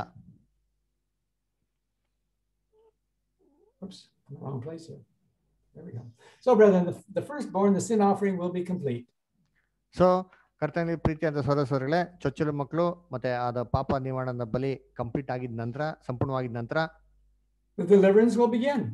So ವಿಮೋಚನೆ ಲೋಕ ಜನಗಳಿಗೆ ಆರಂಭ ಆಗ್ತದೆ The church, ಮೊದಲು ಸಭೆ the company, ದೊಡ್ಡ ಸಮೂಹ charities, ನೆಕ್ಸ್ಟ್ Israel. ಪಿತೃಗಳು the world of mankind. Israel ಲೋಕ ಜನಗಳು Satan's firstborn will be destroyed. ಚೈತನ್ಯ ಚಚ್ಚಲು ಮಕ್ಕಳುಗಳು ಏನ್ ಮಾಡ್ತಾರೆ ಎಲ್ಲ ಬಿದ್ದೋಗಿರೋ ದೂತರುಗಳು ಸಂಘ ಸಂಸ್ಥೆಗಳನ್ನ ನಾಶ ಮಾಡ್ತಾರೆ What are his firstborn? ಅವರೊಂದು system. ಚೊಚ್ಚಲು ಮಕ್ಕಳುಗಳು ಯಾರು ಇವಾಗ ಇರೋ ದುಷ್ಟ ಸಂಘ ಸಂಸ್ಥೆಗಳು Religious, financial, social, and political systems. ಈ ರಿಲಿಜಿಯಸ್ ಫೈನಾನ್ಷಿಯಲ್ ಸೋಷಿಯಲ್ ಪೊಲಿಟಿಕಲ್ ಸಿಸ್ಟಮ್ನ ನಾಶ ಮಾಡ್ತಾರೆ That's what Zephaniah 3:8 says. God will gather all these systems and destroy them. ಅದನ್ನೇ ಜಫೇನಿಯ ಮೂರು ಎಂಟಲ್ಲಿ ಹೇಳೋದು ದೇವರು ಎಲ್ಲಾ ಒಂದು ಇದನ್ನ ಒಟ್ಟಿಗೆ ಸೇರಿಸಿ ತನ್ನ ಉಗ್ರ ಕೋಪನ ಅವ್ರ ಮೇಲೆ ಸುರಿದಿ ನಾಶ ಮಾಡ್ತಾರೆ ಅಂತ So at the end of the millennial age, at the end of the millennial age, all will be perfect. ಅದರಿಂದ ಒಂದು ಕೃಷ್ಣನ ಒಂದು ಸಾವಿರ ವರ್ಷ ಆಳ್ವಿಕೆ ಅಂತ್ಯದಲ್ಲಿ ಎಲ್ಲರೂ ಪರಿಪೂರ್ಣವಂತ ಹಂತಕ್ಕೆ ಏನ್ ಮಾಡ್ತಾರೆ? ಬರೋದ್ ನೋಡ್ತೀರಿ. ಒನ್ ಫೈನಲ್ ಟೆಸ್ಟ್ ಸೊ ಕೊನೆಯದಾಗಿ ಒಂದು ಲಾಸ್ಟ್ ಟೆಸ್ಟ್ ಇರ್ತದೆ. Satan and those who follow him will be destroyed in the second death ಆ ಒಂದು ಫೈನಲ್ ಎಕ್ಸಾಮ್ನಲ್ಲಿ ಸೇತಾನ ಮತ್ತೆ ಬಿದ್ದೋಗಿರೋ ದೂತ್ರಗಳನ್ನ ಎರಡನೇ ಮಂದಲ್ಲಿ ನಾಶ ಮಾಡೋದನ್ನ ನಾವು ನೋಡ್ತೀರಿ. But now we want to see the third element of our, of our beautiful story. We like this chart because it has the seven days of creation. So ಈ ಒಂದು ದೈವಿಕ ಯೋಜನೆಯಲ್ಲಿರುವಂತ ಮೂರನೇ ಮುಖ್ಯವಾಗಿರೋಂಥ ಅಂಶ ನಾವೇನ್ ಮಾಡೋಣ ನಾವು ನೋಡೋಣ This is the seventh day of creation. ಅದು ಯಾವ್ದಪ್ಪ ಅಂತಂದ್ರೆ ದೇವರ ಸೃಷ್ಟಿಯಲ್ಲಿರೋಂಥ ಏಳನೇ ದಿನ This is the seventh day of creation. ಇದೇ ಒಂದು ದೇವರ ಒಂದು ಸೃಷ್ಟಿಯಲ್ಲಿರೋಂಥ ಏಳನೆಯ ದಿನ ಇದು ಸಂಪೂರ್ಣವಾಗಿರೋಂಥ ಚಾಟೆ ಆ ಏಳನೇ ದಿನನ ಸೂಚನೆ ಮಾಡೋದಾಗಿದೆ This is the 7,000 years from here to here. So ಆದಾಮ್ನ ಸೃಷ್ಟಿ ಮಾಡಿದಾಗಿಂದ ಹಿಡ್ದು ಕ್ರಿಸ್ತನ ಸಾವಿರ ವರ್ಷದ ಅಂತ್ಯದವರೆಗನೆ ಇರೋದು ಏಳು ಸಾವಿರ ವರ್ಷದ ದಿನಗಳು Paradise lost, the paradise restored. So if this is 7,000 years and this is the seventh day, how long is each of the other days?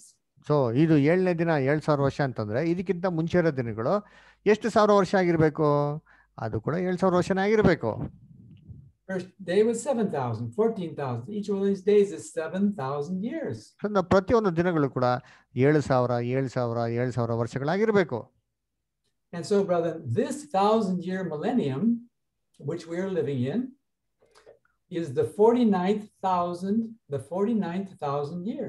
So ಆ ಒಂದು ಸಾವಿರ ವರ್ಷದ ಆಳ್ವಿಕೆ ಅದು ಯಾವುದು ಅಂತಂದ್ರೆ ನಲವತ್ತೊಂಬತ್ತನೇ ಸಾವಿರ ವರ್ಷ ಆ ಒಂದು ಆ ವರ್ಷಗಳ ಆರಂಭದಲ್ಲಿ ನಾವು ಇವತ್ತು ವಾಸ ಮಾಡ್ತಾ ಇದ್ದೀರಿ So this is the 49,000, what is this?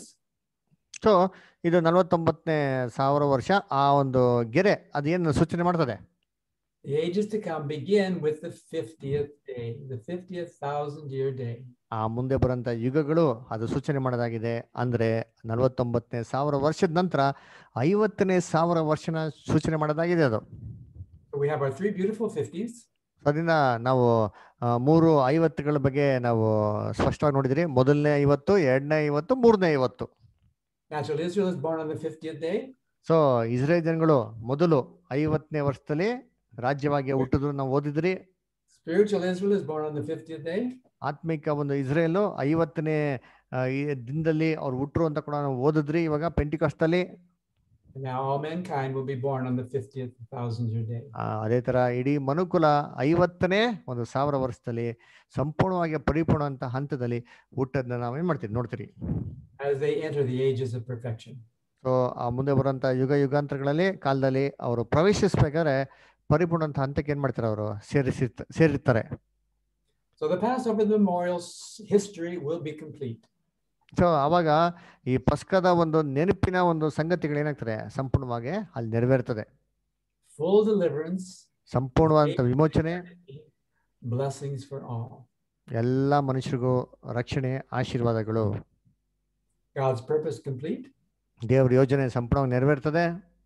So, brethren, as we partake of the memorial this year and every year, never forget the purpose. ಸರಿಂದ ಇವತ್ತು ಮತ್ತೆ ಮುಂದೆ ಬರುವಂತ ದಿನಗಳಲ್ಲಿ ಪ್ರಭುರಾತ್ರಿ ಭೋಜನ ಪಾಲ್ಗೊಳ್ಬೇಕಾದ್ರೆ ನಾವು ಯಾವತ್ತೂ ದೇವರ ಸಂಗತಿಗಳನ್ನ ದೇವರ ಯೋಜನೆ ಮತ್ತೆ ದೇವರ ಒಂದು ಕಾರ್ಯಗಳನ್ನ ನಾವು ಮರೆಯಕ್ಕೆ ಹೋಗ್ಬಾರ್ದು Why Jesus said, This do in remembrance of me, ಯಾಕೆ ಯೇಸು ಕ್ರಿಸ್ತನು ಇದನ್ನು ಇದನ್ನ ನನ್ನ ನೆನಪಿಗಾಗಿ ಮಾಡು ಅಂತ ಹೇಳಿದ್ರು so that we together can bless all the families of the earth and deliver them from the bondage of sin and death.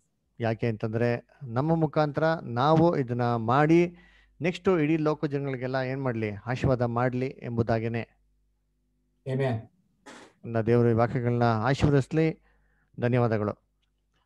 Thank you brother thank you for the Lord's message ಕರ್ತನಲ್ಲಿ ಪ್ರೀತಿ ಅಂತ ಸಹೋದರ ಸಹೋದರಿಗಳೇ, ನಾವು ಏನಪ್ಪ ನೋಡ್ಬೋದು ಅಂತಂದರೆ, ಮುಖ್ಯವಾಗಿ brother ಇವತ್ತಿನ ಕೊಟ್ಟಂತ ಸಾರಾಂಶ ಏನಪ್ಪ ಅಂತಂದರೆ ತ್ರೀ ಫಿಫ್ಟೀಸ್ ಬಗ್ಗೆ ಮಾತಾಡಿದ್ರು. ಮೂರು ಐವತ್ತು ಬಗ್ಗೆ.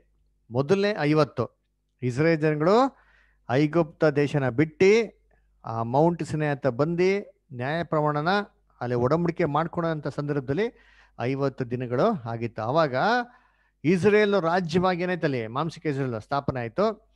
ಅದೇ ಥರ ನೆಕ್ಸ್ಟ್ ಪ್ಯಾರ್ಲಲ್ಲಿ ಏನಪ್ಪ ನೋಡ್ತೀವಿ ಅಂತಂದ್ರೆ, ಪೆಂಟಿಕಾಸ್ಟ್ ಸಮಯದಲ್ಲಿ ಯೇಸು ಕ್ರಿಸ್ತು ಪುನರ್ತನಾಗಿ ಪಂಚಶತಮ ದಿನದಲ್ಲಿ ಆ ಒಂದು ಸಮಯ ಎಷ್ಟು ಅಂದ್ರೆ ಐವತ್ತು ದಿನಗಳು. ಆ ಪಂಚಶತಮ ದಿನ ದೇವರ ಪವಿತ್ರಾತ್ಮನ ಸುರಿಸಿ ಆತ್ಮಿಕ ಒಂದು ಇಸ್ರೇಲ್ಗಳನ್ನ ಸಭೆ ಏನ್ ಮಾಡ್ತಾರೆ, ಸ್ಥಾಪನೆ ಮಾಡ್ತಾರೆ. ಇದೇ ತರ ಕ್ರಿಸ್ತನ ಒಂದು ರಾಜ್ಯದಲ್ಲಿ ನಾವೇನ್ ನೋಡ್ತೀವಿ ಅಂದ್ರೆ, ಆ ನಲ್ವತ್ತೊಂಬತ್ತನೇ ಸಾವಿರ ವರ್ಷದ ನಂತರ, ಐವತ್ತನೇ ಸಾವಿರ ವರ್ಷದಲ್ಲಿ ಎಲ್ಲಾ ಮನುಷ್ಯರು ಪರಿಪೂರ್ಣ ಅಂತ ಹಂತಕ್ಕೆ ಬರ್ಬೇಕಾದ್ರೆ ಏನ್ ಮಾಡ್ತಾರೆ ಅಂದ್ರೆ, ಅವಾಗ ಅವ್ರಿಗೂ ರಕ್ಷಣೆ. ಸೊ ಈ ಒಂದು ಮೂರು ಐವತ್ತು ಎಂಬಂತ ಒಂದು ದೇವ್ರ ಯೋಜನೆಯಲ್ಲಿರುವಂತಹ ಅಂಶದ ಮುಖಾಂತರ ದೇವ್ರ ಮೊದಲು ಇಸ್ರೇಲ್ನ ಆಶೀರ್ವಾದ ಮಾಡಿ, ನೆಕ್ಸ್ಟ್ ಸಭೆನ ಆಶೀರ್ವಾದ ಮಾಡಿ, ಇಡೀ ಲೋಕ ಜನಗಳನ್ನ ಆಶೀರ್ವಾದ ಮಾಡ್ಬೇಕು ಅಂತ ಮಾಡಿದ್ರೆ ಬ್ಯೂಟಿಫುಲ್ ಪ್ಲಾನ್ ಮಾಡಿದ್ರೆ ಇದೆಲ್ಲದಲ್ಲೂ ಕಾಮನ್ ಆಗಿರೋಂಥ ಒಂದು ವಿಚಾರ ಅಬ್ಸರ್ವ್ ಮಾಡ್ಬೋದು. ಏನಂತಂದ್ರೆ, ಪಸ್ಕದ ಕುರಿ. ಪಾಸ್ ಓವರ್ ಮೊದಲು ಫಿಫ್ಟಿಯಲ್ಲಿ ಪಸ್ಕದ ಕುರಿ ಏನಾಗಿತ್ತು? ಕಡಲೆ ಪಡಬೇಕಾಗಿತ್ತು ಸೆಕೆಂಡ್ ಅಲ್ವರ? ಒಂದು ಫಿಫ್ಟಿಯಲ್ಲಿ ಆ ಒಂದು ಪಸ್ಕದ ಒಂದು ಕುರಿ, ಏಸು ಕುಸು ಶಿಲ್ಬೆ ಮೇಲೆ ಏನಾಗ್ಬಿತ್ತು?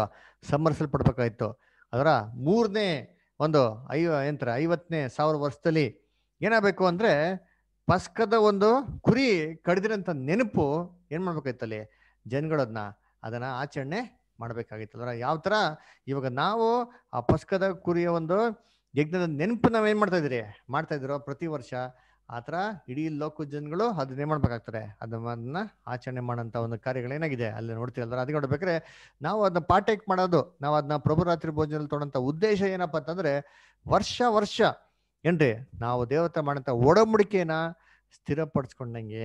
ಅದ್ರ ಅದನ್ನ ತಿರ್ಗಾ ಏನ್ ಮಾಡ್ದಂಗೆ? ನೆನಪು ಮಾಡ್ಕೊಂಡಂಗೆ ಅಲ್ವರ? ಅದನ್ನ ನೋಡ್ಬೇಕ್ರ ನಮಗ್ ಮಾತ್ರ ಅಲ್ಲ ಇದು ತೊಗೊಳೋದು. ಅಲ್ರ ಇಡೀ ಲೋಕ ಜನಗಳ ವಿಮೋಚನೆಗಾಗಿ ನಾವ್ ಏನ್ ಮಾಡ್ತೀರಿ? ನಾವು ತಗೊಂತಾ ಇದ್ರಿ. ಅದರ ಅದೇ ಗೃಹ ಲೋಕದಲ್ಲಿ ಎಷ್ಟೋ ಜನಗಳು ಕಷ್ಟ, ಸಂಕಟ ಪಡ್ತಾ ಇದಾರೆ. ಅದರ ಇಂಡೈರೆಕ್ಟ್ ಆಗಿ ಅವ್ರೆಲ್ಲ ಏನಪ್ಪ ಕೇಳ್ತಾ ಇದ್ರೆ ಅಂತಂದ್ರೆ, ದೇವ್ರೆ ಯಾವಾಗ ವಿಮೋಚನೆ? ಯಾವಾಗ ವಿಮೋಚನೆ ಅಂದ್ರೆ ದೇವ್ರ ದೈವಿಕ ಯೋಜನೆ ಏನ್ ಹೇಳ್ತಾರೆ ಅಂತಂದ್ರೆ, ಸಭೆ ಕಂಪ್ಲೀಟ್ ಆಗಿದ ತಕ್ಷಣನೇ ಯಾರಿಗ ವಿಮೋಚನೆ? ಇಡೀ ಲೋಕ ಜನ. ಅಂದ್ರೆ ಇಡೀ ಲೋಕ ಜನಗಳಿಗೆ ಆಶೀರ್ವಾದ ಬರ್ಬೇಕಾ? ಇಡೀ ಲೋಕ ಜನಗಳು ಚೆನ್ನಾಗಿರ್ಬೇಕಾ? ಅವ್ರ ಕಷ್ಟ, ಸಂಕಟ ನಳ್ಳ ನಳ್ಳಾಟದಲ್ಲಿ ಇರಬಾರ್ದ ಅಂತಂದ್ರೆ ನಾವು ದೇವ್ರ ಮಕ್ಳು ಏನ್ ಮಾಡ್ಬೇಕು ಅಂದ್ರೆ ನಮ್ಮ ರಕ್ಷಣೆ ಸಾಚ್ಕೊಳಕ್ಕೆ ಮಾಡಕ್ ಆದಷ್ಟು ನಾವೇನ್ ಮಾಡಬೇಕು ನಾವು ಪ್ರಯತ್ನ ಮಾಡಬೇಕು ಈ ಲೋಕದಲ್ಲಿ ಅಂತ ಪ್ರಾಣನ ಓಡಿ ಮುಗಿಸಿ ಏನ್ರೆ ನಾವು ದೇವ್ರಿಗೆ ಮಹಿಮೆ ಉಳ್ಳಂತ ಒಂದು ಯೋಗ್ಯವಾಗಿ ಬದುಕ್ಬಿಟ್ರೆ ಇಮ್ಮಿಡಿಯೇಟ್ ಆಗಿ ಯಾರಿಗ ಆಶೀರ್ವಾದ? ಲೋಕ ಜನಗಳಿಗೆ ಆಶೀರ್ವಾದ. ಅದರ ಅದನ್ನ ಕರ್ತನಲ್ಲಿ ಪ್ರೀತಿ ಅಂತ ಸೋದರಸರಿಗೆ ಅಬ್ರಾಮ್ಗಿರಂತ ಮನ್ಸು ನಮಗೂ ಇರಬೇಕು. ಅಬ್ರಾಮ್ ದೇವರು ಹೇಳ್ತಾರೆ, ಸೋದಮನ್ ಗಮ್ರ ನಾಶನ ಮಾಡ್ಲಾ ಅಂತ ಕೇಳ್ಬೇಕಾರೆ ಅಬ್ರಾಮ್ ಏನ್ ಕೇಳ್ತಾರೆ? ಮಾಡ್ಬಿಡು ದೇವ್ರ ಅಂತ ಹೇಳ್ತಾರ? ದೇವ್ರೇ ಅದರ ಇಪ್ಪತ್ತು ಜನ ನೀತಿ ಅಂತ ಹೇಳಿದ್ರೆ ನೀನು ಎಲ್ಲಾರು ನಾಶ ಮಾಡಕ್ ಬಿಡ್ತೀಯ ಅಂತ ಹೇಳ್ತಾರೆ. ದೇವ್ರು ಹೇಳ್ತಾರೆ, ಇಪ್ಪತ್ತು ಜನ ಎದುರಿಸಿ ಬಿಡ್ತೀನಿ ಹಂಗೇ ಕಮ್ಮಿ ಮಾಡ್ಕೊಂಡ್ ಬರ್ತಾರೆ. ಅದರ ಏನ್ರಿ, ದೇವ್ರೆ ಹತ್ತು ಜನ ಇದ್ರೆ ಮಾಡ್ತೀಯಾ ಅಂತ ಕೇಳ್ತಾರೆ. ಹತ್ತು ಜನಕ್ಕೂ ಏನ್ ಮಾಡ್ತಾರೆ ದೇವ್ರು? ಕನಿಕರ ನೋಡ್ತಾರೆ ನೋಡಿರ್ತೀನಿ ಅಬ್ರಾಮ್ಗಿರಂತ ಮನ್ಸು ನೋಡಿರ್ತೀನಿ. ಇಡೀ ಸೋದಮನ್ ಗೊಬ್ಬರ ದುಷ್ಟ ಜನಗಳಂತ ಗೊತ್ತಿದ್ರು ಸರಿ, ಅವರೆಲ್ಲರೂ ಒಳ್ಳೆಯವರಾಗಿರ್ಬೇಕು, ಚೆನ್ನಾಗಿರ್ಬೇಕು ಅಂತಾನೆ ಮನ್ಸಿತ್ತು. ಈ ತರ ಮನ್ಸು ದೇವ್ರ ಮಕ್ಳಿಗೆ ಏನಾಗಿರ್ಬೇಕು? ಇರ್ಬೇಕು. ಅದನ್ನ ಪ್ರಭು ರಾತ್ರಿ ಭೋಜನದಲ್ಲಿ ನಾವು ಪಾಲ್ಗೊಳ್ಬೇಕಾರೆ ಆದಷ್ಟು ಶುದ್ಧವಾಗಿ ಏನ್ ಮಾಡೋಣ ನಮ್ಮ ಮನ್ಸಲ್ಲಿರೋಂಥ ಒಲೆಗಳನ್ನ ತೆಗೆದಕ್ಕೆ ನಾವು ಮಾಡೋಣ, ಪ್ರಯತ್ನ ಮಾಡೋಣ. ಮಾಂಸಲ್ ತೆಗೆದಕ್ಕೆ ಸಾಧ್ಯನೇ ಇಲ್ಲ ಬಿಡ್ರಿ.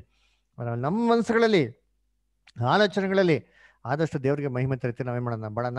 ಅಂತ ದೇವ್ರ ಈ ವಾಕ್ಯಗಳನ್ನ ಆಶೀರ್ವದಿಸ್ಲಿ, ಕೊಟ್ಟಂತ ಒಳ್ಳೆಯ ವಾಕ್ಯಕ್ಕಾಗಿ ನಾವು ತಂದೆಯ ದೇವ್ರಿಗೂ, ನಮ್ಮ ರಕ್ಷಕನಾಗಿರಂತ ಯೇಸು ಕ್ರಿಸ್ತನಿಗೂ ತುಂಬಾ ಕೃತಜ್ಞರಾಗಿದ್ವಿ ಆ ಈ ವಾಕ್ಯನ ಹಂಚ್ಕೊಂಡಂತ ಸಹೋದರನ್ ಕೂಡ ನಾವು ಕೃತಜ್ಞರಾಗಿದ್ದೀವಿ we thank brother Larry Davis for giving us the Lord's message we especially thank above all the Lord and Savior, Jesus Christ and the great God Almighty for using Brother Larry to give us the Lord's message. Uh, we especially thank him uh, for taking uh, uh, leave and taking his precious time to serve the brethren far off. ಸಹೋದರು ಎಂಥ ಸಹೋದರು ಅಂತಂದ್ರೆ ನಿಮಗೆಲ್ಲ ಹೇಳ್ಬೇಕಾದ್ರೆ ನೀವೆಲ್ಲ ಎಷ್ಟೋ ಜನ ಅನೇಕ ತಿಂಗಳು ಹೊಸಬರಾಗಿದ್ದೀರಾ ನಮ್ಮ ಸಹೋದರು ಇಂಡಿಯಾಗೆ ಪ್ರತಿ ಎರಡು ವರ್ಷಕ್ಕೆ ಬರ್ತಾ ಇದ್ರು ಸೊ ಅನೇಕ ಒಂದು ಕಾರ್ಯಗಳಿಂದ ಕಳೆದ ಒಂದು ಸ್ವಲ್ಪ ವರ್ಷಗಳಿಂದ ಬರಲಿಲ್ಲ ಆರೋಗ್ಯದ ವಿಚಾರದಿಂದ. ಆದರೆ ಎಷ್ಟು ಝೀಲು, ಎಷ್ಟು ಆಸಕ್ತಿ ಅಂತಂದರೆ, ಏನ್ರಿ, ನಾನು ಸತ್ಯಕ್ಕೆ ಬರೋಕ್ಕೂ, ಏನ್ರಿ ನಿಯರ್ಲಿ ಒಂದು ಟ್ವೆಂಟಿ ಒನ್ ಇಯರ್ಸ್ ಆಯಿತು. ನಾನು ಬ್ರದರ್ನ ಹದಿನೆಂಟು ವರ್ಷದಿಂದ ನೋಡ್ತಾ ಇದ್ದೀನಿ. ಹದಿನೆಂಟು ವರ್ಷದಿಂದ ಯಾವ ಝೀಲಲ್ಲಿ ಅದೇ ಇಂಟ್ರೆಸ್ಟಲ್ಲಿದ್ದಾರೆ ಅಲ್ಲಿ ಇದ್ದಾರೆ. ಅದೇ ಥರ ಸ್ಟಡೀಸ್ ಮಾಡಿ, ಒಳ್ಳೆ ವಾಕ್ಯಗಳನ್ನೇ ಮಾಡ್ತಾರೆ ಮೊದಲು ಹಂಚ್ಕೊಂತಾರೆ. ದೇವ್ರನ್ನ ಆಶೀರ್ವದಿಸ್ಲಿ ನಾವು ಒಳ್ಳೆ ಆರೈ ಕೊಟ್ಟು ಅಂತ ನಾವು ಪ್ರಾರ್ಥನೆ ಮಾಡೋಣ. ಆರೇಸನ brother we can we thank the Lord we pray that God may give you the good health To continue to serve in the coming days we especially request you to take our love and greetings to all the brother wherever you meet and you convey our love to everybody there Thank you. Say- And we also thank uh, many of the brethren from Africa and uh, Myanmar also for joining this meeting. ಅನೇಕ ಜನಗಳು ಆಫ್ರಿಕಾದಿಂದ ಮತ್ತೆ ಮಿಯಾಮಾರ್ ಇಂದ ಕೂಡ join ಆಗಿದ್ದಾರೆ ಅವರು ಕೂಡ ನಮ್ಮ ಒಂದು ಆ, ಪ್ರೀತಿನ ಹಂಚ್ಕೊಳ್ಳೋರಾಗಿದ್ದಾರೆ ಸೊ ಕೊನೆಯದಾಗೆ ಈ ಕೂಟನ ಅಂತ್ಯ ಮಾಡುವಾಗ ಒಂದು ಪ್ರಾರ್ಥನೆ ಮಾಡಿ ಅಂತ್ಯ ಮಾಡೋಣ. In the last let us have the word of prayer and end meeting ನಮ್ಮ ಮಧ್ಯದಲ್ಲಿ ವಿಜಯ್ ಪ್ರತಾಪ್ ಬದವರು ನಮ್ಮ ಪ್ರಾರ್ಥನೆ ನಡ್ಸ್ಕೊಡ್ಬೇಕಾಗಿ ತಿಳ್ಕೊಂತೀನಿ. ವಿಜಯ್ ಪ್ರತಾಪ್ ಬದರ್ ಇದ್ರ ಲೈನ್ ಹಾ okay I request I Vijay Pratap to finish the service in prayer brother thank you. ಪ್ರಾರ್ಥನೆ ಮಾಡೋಣ. ಸದಮಲ ನೆನೆಸಿಕೊಂಡು ಶಾಶ್ವತ ಲೋಕದಲ್ಲಿ ನಿತ್ಯ ನಿವಾಸಿ ಆಗಿರ್ತಕ್ಕಂತ ಪರಲೋಕದ ನಮ್ಮ ತಂದೆಯಾದ ದೇವರೇ, ಸ್ವಾಮಿ, ನಿಮ್ಮ ಅಪಾರವಾದಂತಹ ಪ್ರೀತಿ, ಕೃಪೆ, ಕರುಣೆಗಳಿಂದ ನಮ್ಮನ್ನ ಜೀವಿತರ ಸಂಖ್ಯೆಯಲ್ಲಿಟ್ಟು, ಈ ರಾತ್ರಿ ವೇಳೆಯಲ್ಲಿ ಸ್ವಾಮಿ, ನೀನು ಆಯ್ದುಕೊಂಡಂತಹ ಒಂದು ಚಿಕ್ಕ ಗುಂಪಾದ ಮಕ್ಕಳನ್ನ ಈ ರೀತಿಯಾಗಿ ಒಟ್ಟಾಗಿ ಸೇರಿಸಿ, ಸ್ವಾಮಿ, ನಿನ್ನ ವಾಕ್ಯಗಳನ್ನ ನಾವು ಅಭ್ಯಾಸ ಮಾಡುವಂತಹ ಕೇಳುವಂತ ಕೃಪೆ ಕೊಟ್ಟದಕ್ಕಾಗಿ ಸ್ತೋತ್ರವಾಗಲಿ. ಸ್ವಾಮಿ, ಸಾವಿರಾರು ಮೈಲಿಗಳ ದೂರದಿಂದ ಸ್ವಾಮಿ ಮುಪ್ಪಿನ ಪ್ರಾಯದಲ್ಲಿಯೂ ಕೂಡ ತಮ್ಮಲ್ಲಿರ್ತಕ್ಕಂತ ದೈವ ಸಂದೇಶದ ಒಂದು ಆಸಕ್ತಿಯನ್ನ ಅವರು ಕಳೆದುಕೊಳ್ಳಲು ಆಸಕ್ತಿಯಿಂದ ಅವರು ತಮ್ಮ ವಾಕ್ಯ ಸಂದೇಶಗಳನ್ನ ನೀಡಿದ್ದಾರೆ ಸ್ವಾಮಿ. ಅದಕ್ಕಾಗಿ ಸ್ತೋತ್ರವಾಗಲಿ. ಪ್ರಿಯ ಸಹೋದರರನ್ನ, ಇನ್ನೂ ಹೆಚ್ಚಾಂತ ರೀತಿಯಲ್ಲಿ ಆಶೀರ್ವದಿಸಿ ಸ್ವಾಮಿ, ನಿನ್ನ ಯುಗ ಯುಗಾಂತರದ ಯೋಜನೆಗಳನ್ನ ಅವರು ಸತ್ಯವನ್ನು ಅರಿಯದಂತ ಎಲ್ಲಾ ಮಕ್ಕಳಿಗೂ ಅವರು ನೀಡುವಂತೆ, ಕೊಡುವಂತೆ ಅವರನ್ನು ಆಶೀರ್ವದಿಸಬೇಕಾಗಿ ಬೇಡಿಕೊಳ್ಳುತ್ತೇನೆ. ಸ್ವಾಮಿ ಇಂತಹ ಒಂದು ಕಷ್ಟಕರವಾದಂತ ದಿವಸಗಳಲ್ಲಿ ಸ್ವಾಮಿ ಅವರು ನಿನ್ನನ್ನ ಎಡೆಬಿಡದೆ ಸ್ತುತಿಸುತ್ತಾ ದೇಶದಿಂದ ದೇಶಗಳಿಗೆ ಹೊರಡಿ ಹೋಗಿ ಅಲ್ಲಿ ನಿನ್ನ ಸುವಾರ್ತೆಯನ್ನ ಸಾರಿ ಸ್ವಾಮಿ, ಅವರು ಅನೇಕ ಆತ್ಮಗಳನ್ನ ನಿನ್ನ ಬಳಿಗೆ ತಂದಿರುವಂತದ್ದನ್ನ ನಾವು ಕೇಳಿದ್ದೇವೆ ಮತ್ತು ನೋಡಿದ್ದೇವೆ. ಸ್ವಾಮಿ, ಅವರನ್ನ ಹೆಚ್ಚಾಂತ ರೀತಿಯಲ್ಲಿ ಆಶೀರ್ವದಿಸು, ಅವ್ರ ಕುಟುಂಬವನ್ನ ಆಶೀರ್ವದಿಸು ಸ್ವಾಮಿ. ಮುಂದಿನ ದಿವಸಗಳಲ್ಲಿ ಸ್ವಾಮಿ, ಒಳ್ಳೆಯ ದಿವಸಗಳು ಬರಬಹುದೆಂಬುದ ಬರುವುದು ಖಂಡಿತ ಸ್ವಾಮಿ. ಅಂತ ಒಂದು ಸಂದರ್ಭಗಳಲ್ಲಿ ಸ್ವಾಮಿ ನಮ್ಮೆಲ್ಲರನ್ನ ಒಟ್ಟಾಗಿ ಸೇರಿಸಿ ಇಂಥ ಒಂದು ಸದ್ಭಕ್ತರ ಬಾಯಿಂದ ಬರತಕ್ಕಂತ ಸತ್ಯ ಸಂದೇಶಗಳನ್ನ ನಾವು ಕೇಳುವಂತ ಒಂದು ಸೌಭಾಗ್ಯವನ್ನು ಅನುಗ್ರಹಿಸಬೇಕಾಗಿ ನಿಮ್ಮನ್ನ ಬೇಡಿಕೊಳ್ಳುತ್ತೇವೆ ಸ್ವಾಮಿ. ಅಪ್ಪ, ಈ ಒಂದು ಸಂದರ್ಭ ನಿನ್ನ ಮಗನಾದ ಯೇಸು ಕ್ರಿಸ್ತನ ರಾತ್ರಿ ಭೋಜನದ ಹಾಗೂ ಆತನು ಅನುಭವಿಸಿದಂತ ಶ್ರಮ ಮರಣದ ಕಾಲವಾಗಿದೆ ಸ್ವಾಮಿ. ಇವುಗಳನ್ನ ನಾವು ಪ್ರತಿ ವರ್ಷವೂ ನಾವು ನೂತನ ಪಡಿಸಿಕೊಳ್ಳುತ್ತಾ ಈ ಲೋಕದಲ್ಲಿ ನಾವು ಜೀವಿಸ್ತಾ ಇದ್ದೇವೆ ಸ್ವಾಮಿ. ನಮ್ಮಲ್ಲಿರ್ತಕ್ಕಂಥ ಎಲ್ಲಾ ರೀತಿಯ ದುಷ್ಟತ್ವ, ದುರ್ಮಾರ್ಗತ್ವಗಳನ್ನ ನಾವು ತೆಗೆದು ಹಾಕಿ ಒಳ್ಳೆಯ ಕಣಿಕದಂತೆ ಆಗುವ ಹಾಗೆ ನಮ್ಮನ್ನ ಕಾಪಾಡಬೇಕೆಂಬುದಾಗಿ ಬೇಡಿಕೊಳ್ಳುತ್ತೇನೆ. ವಾಕ್ಯವನ್ನ ಕೇಳಿದಂತೆ ಎಲ್ಲಾ ಸಹೋದರ ಸಹೋದರಿಯರನ್ನು ಆಶೀರ್ವದಿಸುವ ಸ್ವಾಮಿ.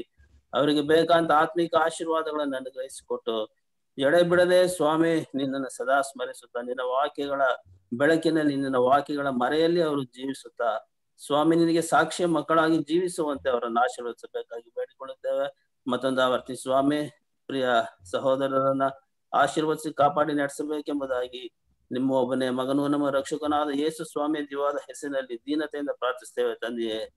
ಆಮೇಲೆ